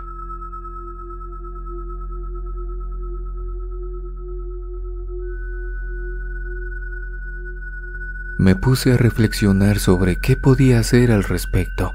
Por ejemplo, despertar a mi padre para que revisara el féretro o que me acompañara a patrullar los alrededores, ya que podría tratarse de algún bromista. La cosa es que no pude decidirme. De repente descubrí que tenía el cuerpo paralizado y la frente cubierta de un inexplicable sudor frío. Me estaba consumiendo el temor, lo cual es natural. No obstante, ¿a qué le tenía miedo? A una señora chismosa, familiar mía, que falleció sola y fue encontrada en su cama ya casi podrida. Intenté tranquilizarme. Respiré profundo e hice un gran esfuerzo por recuperar el control de mí mismo. Lo conseguí con trabajo y cuando mi corazón volvió a latir con normalidad, me fijé en el sitio donde estábamos. Había muchas cajas llenas de cachivaches y ropa vieja, apolillada. El recibidor donde mi tía Guille estuvo viviendo por varios años olía a humedad y tenía ese ambiente polvoso que adquieren los sitios cerrados. En los muebles se apilaban cientos de recuerditos, cristalería variada, numerosas vajillas de cerámica y servilletas bordadas que decían Recuerdo de mi boda, de mi comunión, de mi bautizo y muchas cosas más. Esos objetos eran trofeos para Guillermina, pues lograba que le invitaran a la celebración, que le dieran de comer y que le entregaran uno de esos detalles antes de que soltara su lengua ponzoñosa. Medía perfectamente sus acciones, ya que luego se acordaba de algún asunto y se marchaba sin importar que hubiera dejado una estela de incomodidad a su espalda. Al analizar las repisas, sentí pena por la señora. Por desgracia, no tuve tiempo ni siquiera de elevar una plegaria por su alma.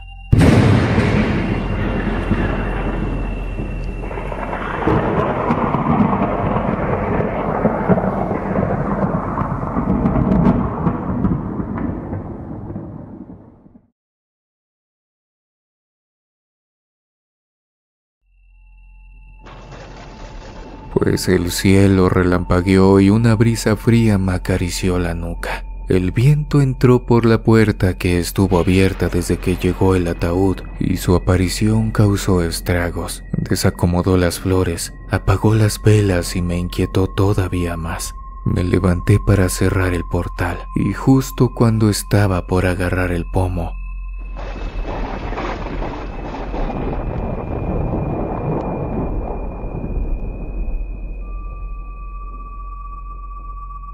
Un rayo cruzó el cielo, una vibración se movió por el terreno y una ráfaga me atravesó el cuerpo de una manera tan siniestra que me paralizó. Permanecí con la mano estirada, mirando hacia afuera. Vi cómo la gente que se encontraba en el patio se metía a sus carros y agarraba sus cosas para salir corriendo hacia sus casas antes de que se dejara caer la tempestad. Pero eso no fue lo que me sacó del trance en el que me hallaba, sino los gritos de un amigo de mi papá. Me di vuelta a la carrera, accioné la manija del apagador y encendí la luz. El hombre estaba en el sofá revolcándose, peleando con algo que parecía estarlo atacando. Pero frente a él no había nada.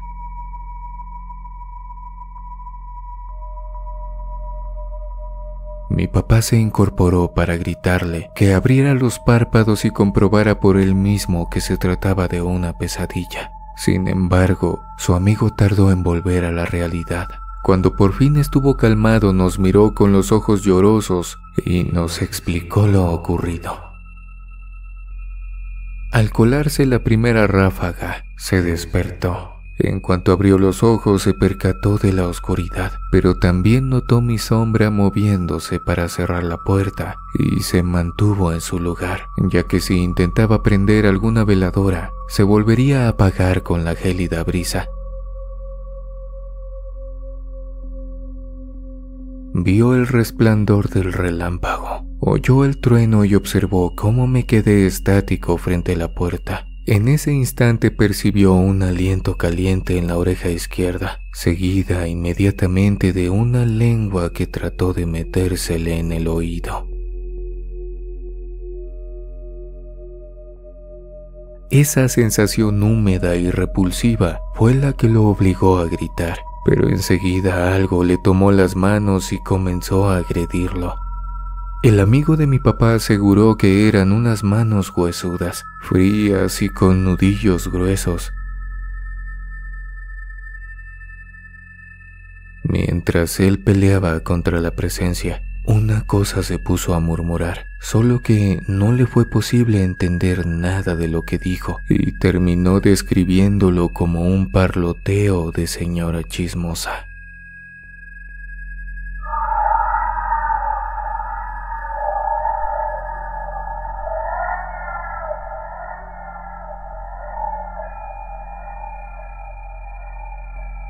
Escuchar esa denominación nos causó un potente escalofrío, ya que, siendo sinceros, ¿no eran las palabras ideales para etiquetar a la tía Guille?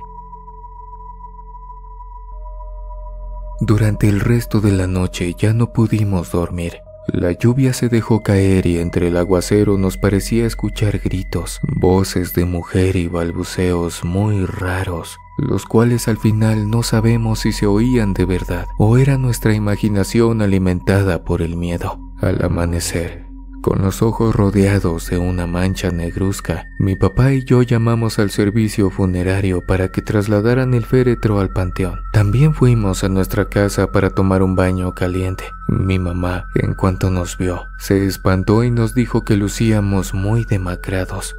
Por supuesto, no le comentamos nada de lo que pasó, pero sí le pedimos que preparara un poco de café, galletas, aperitivos o lo que tuviera a la mano para quienes nos acompañaran al sepulcro. Acto seguido, volvimos a la casa de mi tía. Nos reunimos con la gente que ahí andaba y por si no fuera suficiente con lo de la noche, otro de los amigos de mi papá nos llamó con discreción y nos pidió que fuéramos al recibidor, donde se ubicaba el ataúd. Al entrar, Notamos la pestilencia que emanaba de la caja. Sin embargo, ese no era el mayor problema, sino que por una esquina se estaban saliendo innumerables gusanos gordos, de color oscuro y aspecto nauseabundo, los cuales dejaban una baba verdosa por donde caminaban. Fue sumamente asqueroso. Eso se sintió como una burla. ¿Qué más podía pasar? ¿Qué otra cosa humillante y repulsiva podría suceder en el funeral de doña Guillermina?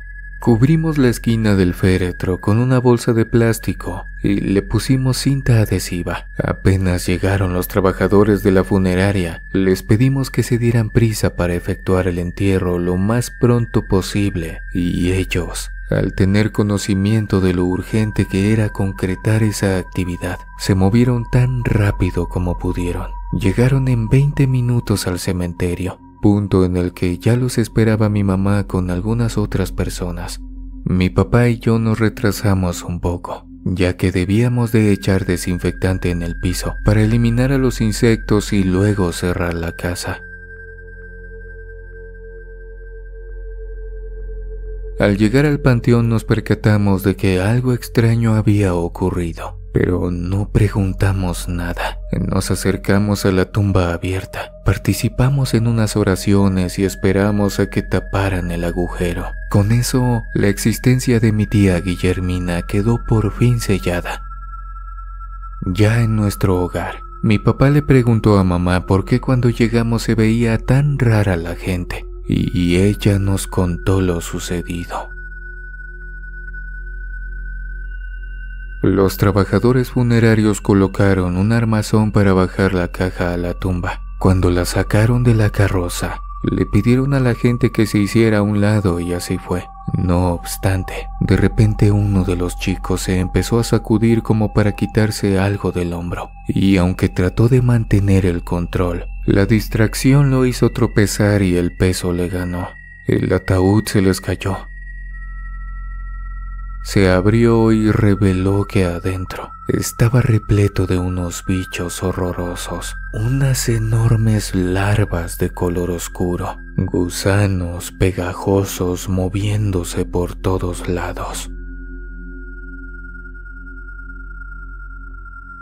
Los presentes se echaron para atrás. Algunas señoras gritaron del horror y otras no pudieron aguantarse las ganas de vomitar, puesto que además de la pavorosa escena, también se liberó una peste insufrible. Mi familia y yo nos quedamos mirando. Empezamos a platicar sobre lo ocurrido durante la noche y juntos llegamos a una conclusión bastante lastimera. Mi tía Guillermina tenía actitudes muy extrañas. Era grosera, insensible y a lo mejor disfrutaba de herir a los otros con una falsa inocencia tan bien construida que poca gente le reclamaba sus imprudencias. No obstante, dentro de sus cabezas, en la intimidad de sus casas, la maldecían. Le deseaban lo peor, suplicaban para que fuera castigada y pagara por el dolor que les causaba a sus vecinos, familiares, a su esposo o hasta a sus propios hijos. ¿Cuántas maldiciones le habrán dedicado? ¿Cuántas miradas de desprecio? ¿Cuántas personas cambiaban de banqueta para no encontrársela de frente?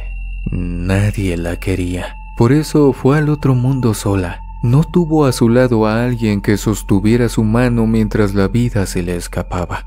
Si tuvo miedo, si sufrió, si gritó o intentó pedir ayuda, lo único que encontró a su alrededor fue soledad.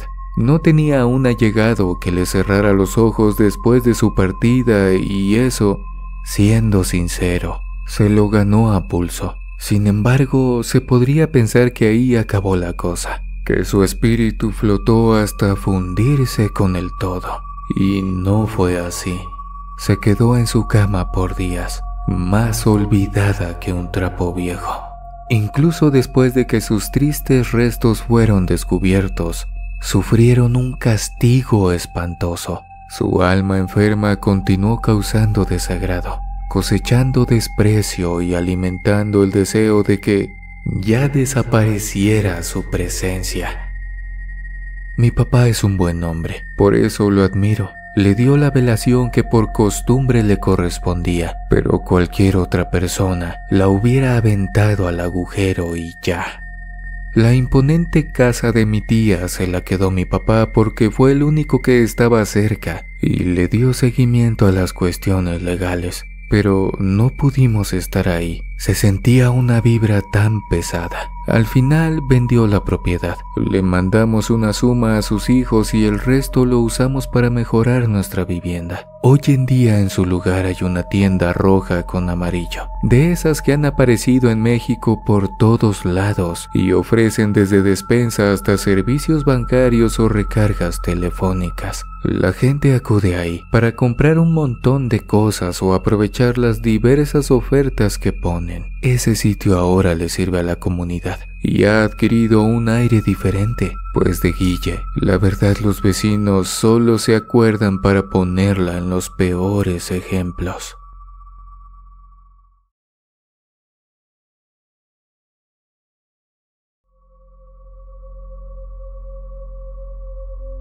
¿Y tú tienes algún familiar parecido a doña Guillermina? Déjamelo en los comentarios.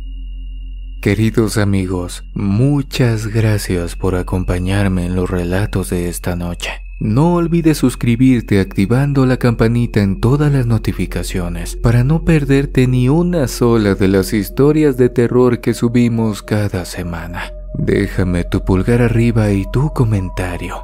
Y si este tipo de historias de terror son de tu agrado, compárteme con todos tus amigos. Eso me ayudaría mucho. Están por venir las fechas más tenebrosas y escalofriantes. Déjame en los comentarios sobre qué tema quieres que hablemos. Posiblemente sea seleccionado y una historia del tema de tu agrado salga en la siguiente emisión.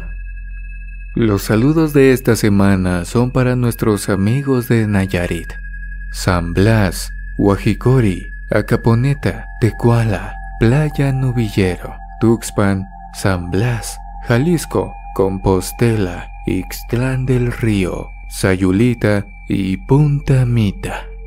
Que tengan todos una linda noche. Nos vemos en una siguiente emisión de Oscuro Secreto.